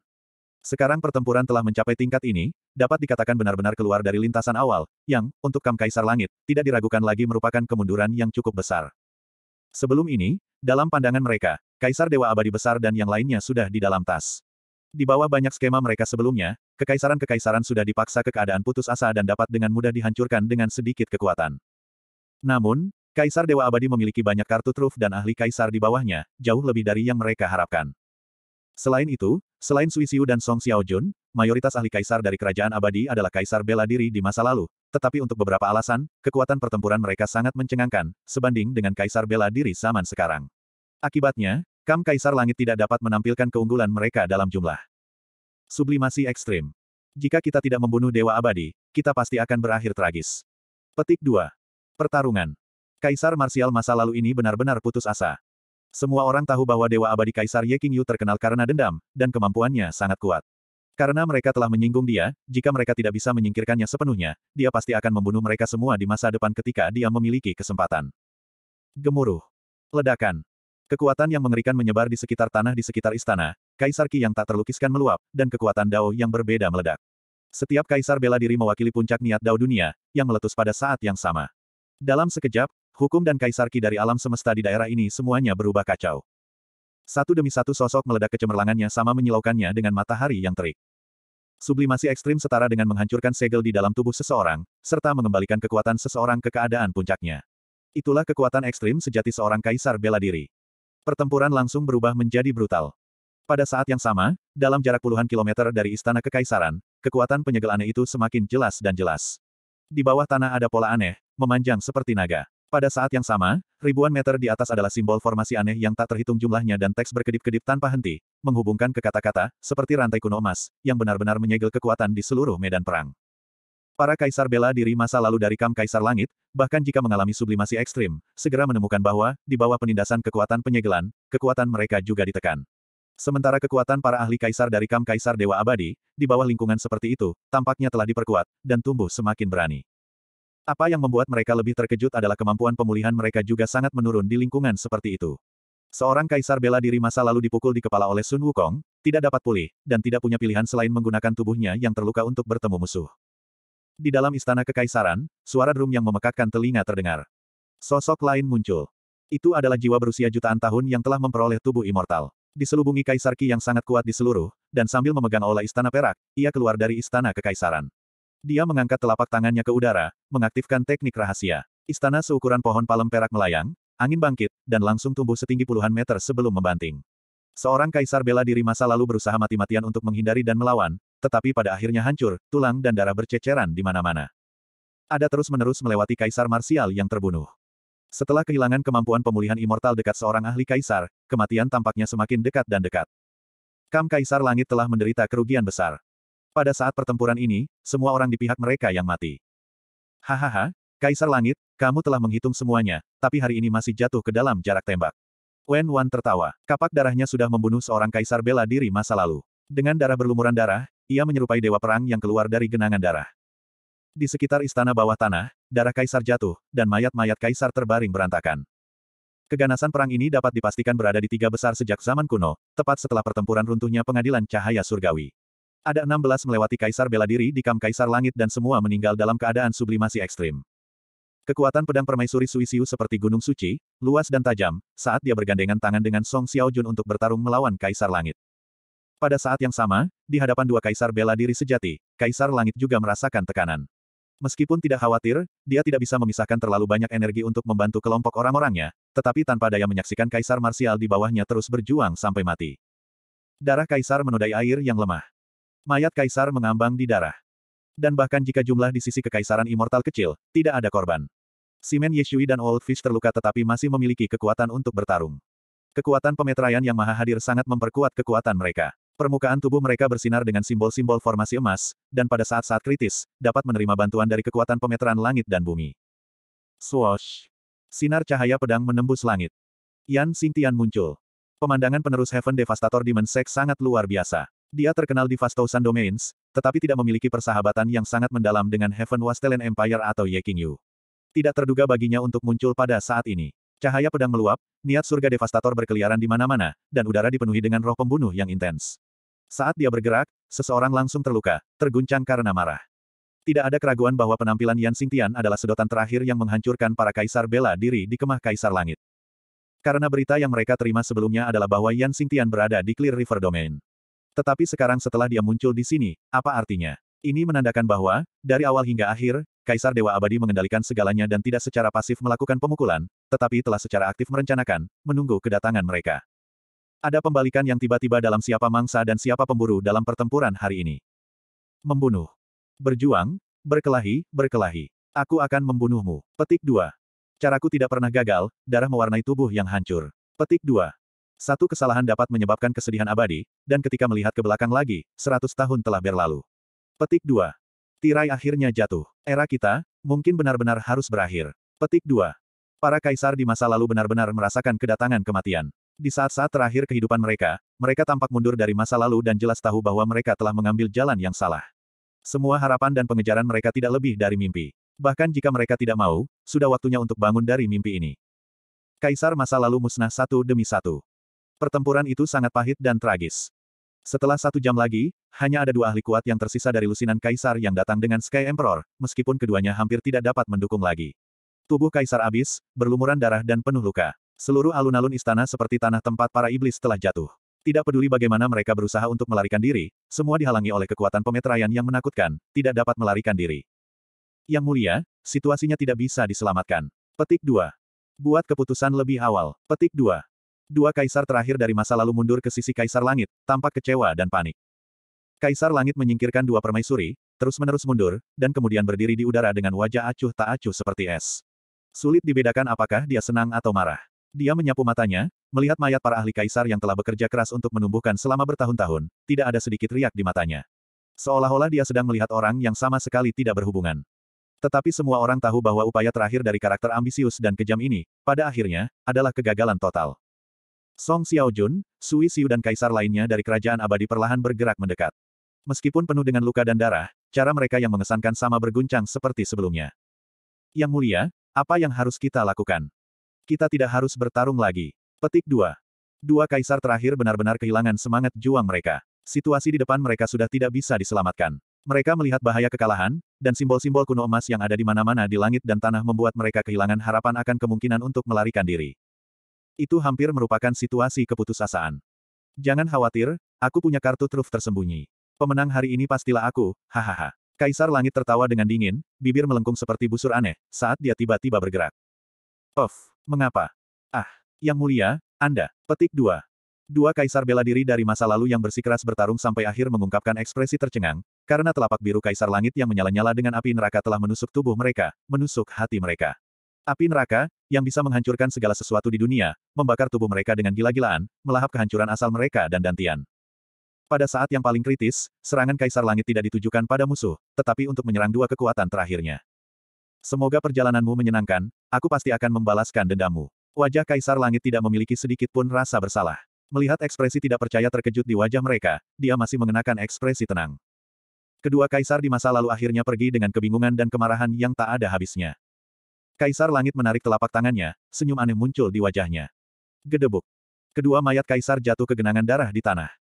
Song Xiaojun dan yang lainnya sama-sama terkejut, dengan adegan seperti itu, firasat yang tak terduga muncul di benak mereka. Kaisar Langit adalah karakter ambisius dan kejam yang tiada taranya yang telah mendominasi selama periode waktu yang lama. Dia adalah penguasa yang tersembunyi dalam kegelapan, dan yang memiliki skema dan pikiran tertinggi. Mungkinkah ini kartu trufnya? Hahaha, Ye King Yu, jika semut-semut di depan ini adalah kartu trufmu, maka kau benar-benar telah mengecewakanku, tapi hanya itu. Kaisar Langit melemparkan kepalanya ke belakang dan tertawa. Dia mengangkat tangannya dan melemparkan kotak pernis hitam. Ledakan. Tutup kotaknya pecah. Beberapa figur Viengot yang sangat menakutkan berjuang keluar dari kotak pernis hitam. Kekuatan kehancuran yang tak terkatakan memenuhi seluruh ruang seketika. Itu mereka. Enam jenderal surgawi dan yang lainnya terkejut karena mereka mengenali keberadaan yang muncul dari kotak pernis. Aura menyeramkan itu terlalu jelas. Kaisar Langit melemparkan kepalanya ke belakang dan tertawa terbahak-bahak. Haha, Grandmaster Taoist Tombak Berdarah, penguasa ungu gelap, diktator bertulang putih. Perjanjian kami sebelumnya sekarang berlaku. Daerah ini sudah dipenuhi dengan darah kaisar dan mayat, mirip dengan pertempuran pengadilan cahaya surgawi di masa lalu. Anda semua bisa makan sesuka hati, merebut waktu untuk memulihkan, memulihkan kekuatan Anda, dan membunuh reinkarnasi sang dewa kaisar cahaya bagiku, yang juga musuh bebuyutanmu. Petik 2. Suara marah dan ganas kaisar langit bergema di istana kekaisaran. Ini adalah rencananya yang sebenarnya. Kaisar-kaisar itu hanya pion baginya untuk dikorbankan. Nilai satu-satunya adalah melemahkan sayap Ye Qingyu dan kemudian mati di sini. Yang paling penting bukanlah hidup mereka, tetapi darah dan daging mereka, yang dapat menyediakan ki dan darah sebagai sumber makanan bagi Grandmaster Daoist Tombak Bercinta dan yang lainnya. Bab 1334, Ye King Yu muncul. Hahaha, hari ini akhirnya tiba. Petik 2. Rasa yang lesat, darah yang kaya, Kaisar Langit, kamu telah membuktikan ketulusanmu. Petik 2. Di mana reinkarnasi Kaisar Cahaya Surgawi? Grandmaster Taoist Tombak Berdarah, Penguasa ungu gelap, dan penguasa lainnya dari ruang waktu yang berbeda memancarkan tawa memekakan telinga yang gila, menyerupai sorakan sekelompok setan dari neraka. Kekuatan teror menyebar dari tubuh mereka, dengan liar melahap dan menyerap mayat dan darah kaisar di tanah. Teknik, hukum, esensi, dan kekuatan kaisar di dalam mayat juga ditelan, diserap, dan diubah menjadi kekuatan mereka. Tidak baik, wajah Gao Diping berubah. Teror kedaulatan raja-raja dari ruang waktu yang berbeda telah muncul sebelumnya dalam pertempuran runtuhnya pengadilan cahaya surgawi. Mereka adalah keberadaan yang hampir tak terkalahkan, ditekan hanya oleh kekuatan tertinggi Kaisar Cahaya Surgawi. Selain itu, dengan melahap esensi, darah dan daging para ahli Kaisar, mereka akan tumbuh lebih kuat dari sebelumnya. Itu tidak terduga dari Kaisar Langit untuk melepaskan penguasa agung dari waktu ruang yang berbeda karena dialah yang menekan mereka saat itu untuk mendapatkan ki takdir dunia. Tampaknya Kaisar Langit telah mencapai kesepahaman dengan dewi-dewi ini dan telah bergabung dengan mereka. Baru setelah itu dia akan membebaskan mereka. Jangan biarkan mereka pulih. Petik 2. Wen Wan meraung, kapak darahnya meletus dalam cahaya surgawi, menembak langsung ke Grandmaster Taoist tombak berdarah. Serang bersama, Gao Diping dan yang lainnya juga menyerbu ke arah kedaulatan ungu gelap, penghancur kehidupan, diktator berperawakan putih, dan penguasa-penguasa Vienggot lainnya dari ruang waktu yang berbeda. Penguasa Vienggot telah ditekan oleh Kaisar Langit untuk waktu yang lama, sebagai akibatnya kekuatan mereka telah dihancurkan secara besar-besaran. Mereka dianggap dalam keadaan lemah, tetapi jika mereka ingin berhasil melahap kekuatan, daging dan esensi dari banyak kaisar di alun-alun istana, dengan demikian benar-benar mengembalikan kekuatan masa lalu, maka mungkin ada masalah. Haha, hahaha. Petik 2. Kaisar Langit tertawa dengan liar. Dia tidak menghalangi mereka. Dulu, bahkan aku tidak bisa membunuh mereka. Mereka hanya bisa ditekan. Apakah Anda pikir Anda dapat menghentikannya sendiri? Anda, tidak berada pada level yang sama. Petik 2. Penguasa Vienggot dari ruang waktu yang berbeda sudah melampaui tingkat budidaya Kaisar Bela Diri. Saat itu ketika mereka turun ke dunia melalui gerbang darah, tidak dapat ditahan oleh dunia ini, kekuatan mereka turun secara drastis sebagai akibatnya dan pertama-tama dengan mudah dikalahkan oleh Kaisar Cahaya Surgawi, sebelum ditekan oleh teknik dunia bawah Sky Emperor. Ini hanya karena kurangnya kekuatan pertempuran. Jika itu didasarkan pada level dan ranah saja maka mereka telah mencapai titik di mana tidak ada seorang pun di dunia ini yang bisa membunuh mereka. Oleh karena itu, bahkan jika di bawah serangan enam jenderal surgawi, Sui Xiu dan Song Xiaojun, Grandmaster Taoist tombak berdarah dan yang lainnya hanya terluka, dan sama sekali tidak bisa dibunuh. Bahkan jika mereka terluka, kehadiran 50 atau 60 mayat dan darah kaisar sudah cukup bagi mereka untuk menyembuhkan diri mereka sendiri. Pada akhirnya, kecepatan pemulihan Grandmaster Taoist tombak berdarah dan yang lainnya jelas telah melebihi tingkat kerusakan yang disebabkan oleh enam jenderal dewa dan serangan ahli kaisar lainnya. Situasi terbalik sekali lagi. Aura dari Grandmaster Taoist tombak berdarah, Sovereign kegelapan ungu dan penguasa-penguasa iblis lainnya dari ruang waktu yang berbeda terus tumbuh semakin kuat dan kuat. Secara bertahap, serangan enam jenderal surgawi dan yang lainnya tidak terlalu efektif. Semuanya sudah berakhir. Petik 2. Kaisar Langit berdiri dalam kehampaan, memandangi pemandangan di bawah, ekspresi tenang dan sengit di wajahnya seolah-olah semuanya ada dalam kendalinya. Sudah bertahun-tahun berlalu, saya masih pemenangnya. Kaisar Cahaya Surgawi, tidak peduli berapa kali Anda bereinkarnasi, Anda akan dikalahkan di tangan saya. Ini adalah takdirmu. Dendam masa lalu akhirnya akan berakhir hari ini. Nasib dunia akan menjadi milik saya pada akhirnya. Petik 2. Dia tersenyum, matanya beralih ke istana kekaisaran. Tetapi, pada saat ini, senyum tiba-tiba membeku di bibirnya. Karena dia melihat itu, tanpa sadar, sebuah sosok muncul di dinding tembok di bawah bangunan musuh. Jubahnya putih seperti batu giok, rambut hitam mengalir seperti air terjun. Siapa lagi yang akan menjadi selain dewa abadi besar Kaisar Ye Qingyu? Seperti jurang maut, aura luas misterius yang dikeluarkan dari Ye Qingyu tampak sangat jauh, tidak jelas dan tidak jelas. Seolah-olah itu berisi semua hal, dan seolah-olah di atas ribuan makhluk. Itu adalah aura yang sangat aneh bahwa Kaisar Langit tidak bisa membantu tetapi sedikit gemetar saat melihatnya. Perasaan ini hanya sekali muncul di tubuh Kaisar Cahaya Surgawi. Kamu, murid Sky Emperor menyusut. Ye Qingyu mengambil langkah, berjalan langsung dari lantai atas bangunan kekaisaran bertingkat. Setiap langkah yang diambilnya, ada karakter formasi emas yang berkedip di kekosongan, seperti bunga lotus emas yang mekar, mendukungnya. Setiap langkah kakinya membuat bunga lotus tumbuh.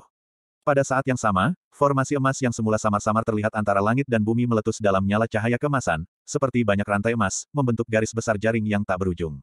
Setiap karakter merilis kekuatan besar yang tak terlukiskan, seperti bintang di alam semesta. Senyum di wajah Grandmaster Taoist tombak berdarah serta empat penguasa ruang angkasa waktu yang berbeda, yang pada awalnya menyerap darah dan esensi mayat kaisar, langsung membeku, kemudian memutar ke ekspresi tidak percaya, melihat ke atas ke langit. Mereka merasa bahwa kekuatan di dalam tubuh mereka sendiri tidak bisa lagi tumbuh, meskipun melahap dan menyerap kekuatan mayat kaisar. Tidak hanya ini, mereka juga merasakan tanda runtuh yang tidak bisa dijelaskan. Kamu, kamu siapa? Kekuatan apa ini? Bagaimana bisa? Anda menekan kami. The Dark Purple Sovereign dan Destroyer of the Living tersentak pada saat yang sama. Apakah kamu tidak mencariku? Ye Qingyu berbicara dengan irama yang aneh, membangkitkan langit dan bumi. Seolah-olah alam semesta bergemuruh. Kamu, Kau adalah reinkarnasi dari Kaisar Cahaya Surgawi. Roh diktator berperawakan putih meraung, menatap Ye Qingyu dengan ekspresi ketakutan yang tak tersamar. Petik 2. Meskipun tak terhitung tahun telah berlalu, bayangan yang ditinggalkan Kaisar Cahaya Surgawi dalam pikiran mereka dalam pertempuran saat itu masih belum pudar. Kaisar Cahaya Surgawi benar-benar terlalu kuat. Jika bukan karena iblis di dalam, keberadaan celah dalam seni bela diri, dia tidak akan gagal. Jika tidak, mengingat tingkat kultivasinya, dikombinasikan dengan kekuatan langit dan bumi, bahkan jika Vienggot yang ditinggalkan, Kaisar Dunia Bawah Kuno, Raja Kehancuran dan yang lainnya bergandengan tangan, mereka tidak akan pernah menjadi tandingan Kaisar Cahaya Surgawi. Pada awal perang itu, Diktator Tulang Putih dan Raja Penguasa lainnya juga merasakan ketakutan naluriah. Iya dan tidak, Ye Qingyu memperbaiki pandangan mereka tanpa mengatakan terlalu banyak. Meterai tahun tanpa akhir tidak membersihkan hatimu. Anda berani memulai bencana lagi. Anda berani kembali ke cara lama Anda. Hari ini, saya akan mengakhiri sepenuhnya untuk Anda. Petik 2. Sebelum suaranya memudar, rantai karakter kuno emas yang berselang-seling melintasi langit, seperti seikat tali dewa, beriak keluar, menekan dan membungkus Grandmaster Taoist tombak berdarah dan yang lainnya. Yah, bahkan jika Anda adalah reinkarnasi dari Kaisar Cahaya Surgawi, apa yang dapat Anda lakukan untuk saya? The Dark Purple Sovereign mendengus, kecemerlangan surgawi berwarna ungu yang menyelimuti tubuhnya melonjak keluar. Saya awalnya abadi, tidak mungkin bagi Anda untuk membunuh saya. Petik 2. Itu benar. Petik 2. Kamu kuat dalam pertempuran, tapi kamu tidak bisa membunuh kami di level itu. Petik 2. Setelah kejutan awal, Grandmaster Taoist tombak berdarah dan penghancur kehidupan mulai tenang, masing-masing mengaktifkan kekuatan mereka untuk menahan ikatan tali emas, dengan sabar mencari kesempatan untuk melakukan serangan balik. Mundur, Ye Qingyu memberi lambaian tangannya. Song Xiaojun, Sui Xiu, enam jenderal dewa dan para ahli kaisar lainnya dari kam kekaisaran abadi segera mundur kembali ke tembok istana setelah mendengar ini. Sun Yi, yang telah menyaksikan pertempuran selama ini, merasa semua ini seperti mimpi. Ternyata yang mulia, Kaisar Dewa Abadi yang agung, sudah bersiap sebelumnya. Kemungkinan besar bahwa segala sesuatu yang terjadi selama serangan Kaisar Kuaso Xiao Fei juga dihitung sebelumnya. Ini semua masuk akal. Mengingat pikiran dan basis kultivasi Kaisar Dewa Abadi, bagaimana mungkin dia tidak menyadari bahwa Kaisar bela diri di masa lalu telah menyusup ke penonton. Pilar Kekaisaran Abadi belum runtuh. Dia masih eksistensi yang tak terkalahkan. Apakah itu tombak terbuka atau panah dalam gelap, apakah itu serangan oleh musuh yang tersembunyi atau plot yang terbuka, dia selalu bisa dengan tenang menyelesaikannya. Dia masih tak terkalahkan seperti biasa, dan masih akan menjadi orang yang tertawa terakhir. Betapa beruntungnya bisa bersama orang seperti itu. Hati Sun Yi tiba-tiba dipenuhi dengan ketenangan dan kepercayaan diri yang belum pernah terjadi sebelumnya.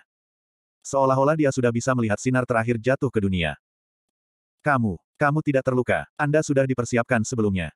Mata Kaisar Langit menyala dengan nyala api, dengan penuh perhatian menatap Ye Qingyu. Keadaan yang ditunjukkan Ye Qingyu sudah menjelaskan segalanya, yang tidak bisa diterima oleh Kaisar Langit. Kenapa ini terjadi? Dia sudah menghitung dan merencanakan semuanya. Semuanya sempurna. Itu jelas merupakan kesempatan sekali seumur hidup ketika Li Xiaofei menyerang jalur Kaisar dan Ye Qingyu memilih untuk secara pribadi bertindak sebagai pelindungnya. Jadi, Kaisar Langit yang selama ini tersembunyi akhirnya memilih untuk bertindak. Selain itu, ia menganggap pengaturannya sempurna. Umpan balik dan hasil pada waktu itu juga sempurna. Bencana dunia adalah nyata, kehancuran atmosfer itu nyata, dan darah kaisar dewa abadi yang mengalir melintasi alun-alun juga nyata. Semua ini mengarah ke arah yang diinginkannya. Tentu saja, meski begitu, dia masih skeptis, dan dengan demikian melakukan banyak perencanaan, banyak tes, dan banyak verifikasi. Dan semuanya mengindikasikan bahwa Ye Qingyu benar-benar terluka parah. Hanya setelah ini dikonfirmasi bahwa Kaisar Langit memutuskan untuk menyerang kota kerajaan Guardian. Selain itu, bahkan jika tampaknya semuanya sangat mudah, Kaisar Langit masih memiliki kartu tersembunyi yang disiapkan, yang merupakan aliansi sementara yang diam-diam dia capai dengan Grandmaster Taoist Tombak Berdarah dan yang lainnya. Setelah itu, para penguasa Vienggot ini dari ruang waktu yang berbeda dilepaskan dari formasi yang telah ia atur saat itu. Ini seharusnya menjadi rencana yang sangat mudah. Sama sekali tidak ada alasan untuk itu gagal. Tapi sekarang, Dewa Abadi yang tidak terluka Kaisar Ye Qingyu telah muncul entah dari mana dan menghancurkan segalanya dengan satu gerakan. Semua yang direncanakan dengan susah payah oleh Kaisar Langit telah berubah menjadi lelucon. Kaisar Langit bukan siapa-siapa. Dia bisa mengatakan bahwa Grandmaster Taoist Tombak Berdarah dan yang lainnya, meskipun galak, sudah panah pada akhir penerbangan mereka. Sudah berakhir bagi mereka. Adegan terakhir disegel selama-lamanya, atau memburuk sedikit demi sedikit. Aku tidak mau. Kaisar Langit mendesah panjang, panjang. Bab 1335, Kaisar Langit Lenyap. Pria yang cerdas tidak pernah melangkah ke sungai yang sama dua kali. Ye Qingyu mengaktifkan formasi berwarna emas, menjebak Grandmaster Taoist Tombak Berdarah, penguasa ungu gelap dan yang lainnya, sebelum dia berbalik untuk berkata kepada Kaisar Langit, saya tahu orang seperti apa Anda, bagaimana saya akan memberikan Anda kesempatan lain. Dan Anda, jelas tidak mengenal saya dengan baik. Itu sebabnya Anda mengambil umpan. Petik 2. Pada titik ini, semuanya sudah beres. Grandmaster Taoist Tombak Berdarah dan empat penguasa besar agung dari ruang waktu yang berbeda dengan panik meraung dan berjuang, tetapi tidak berhasil.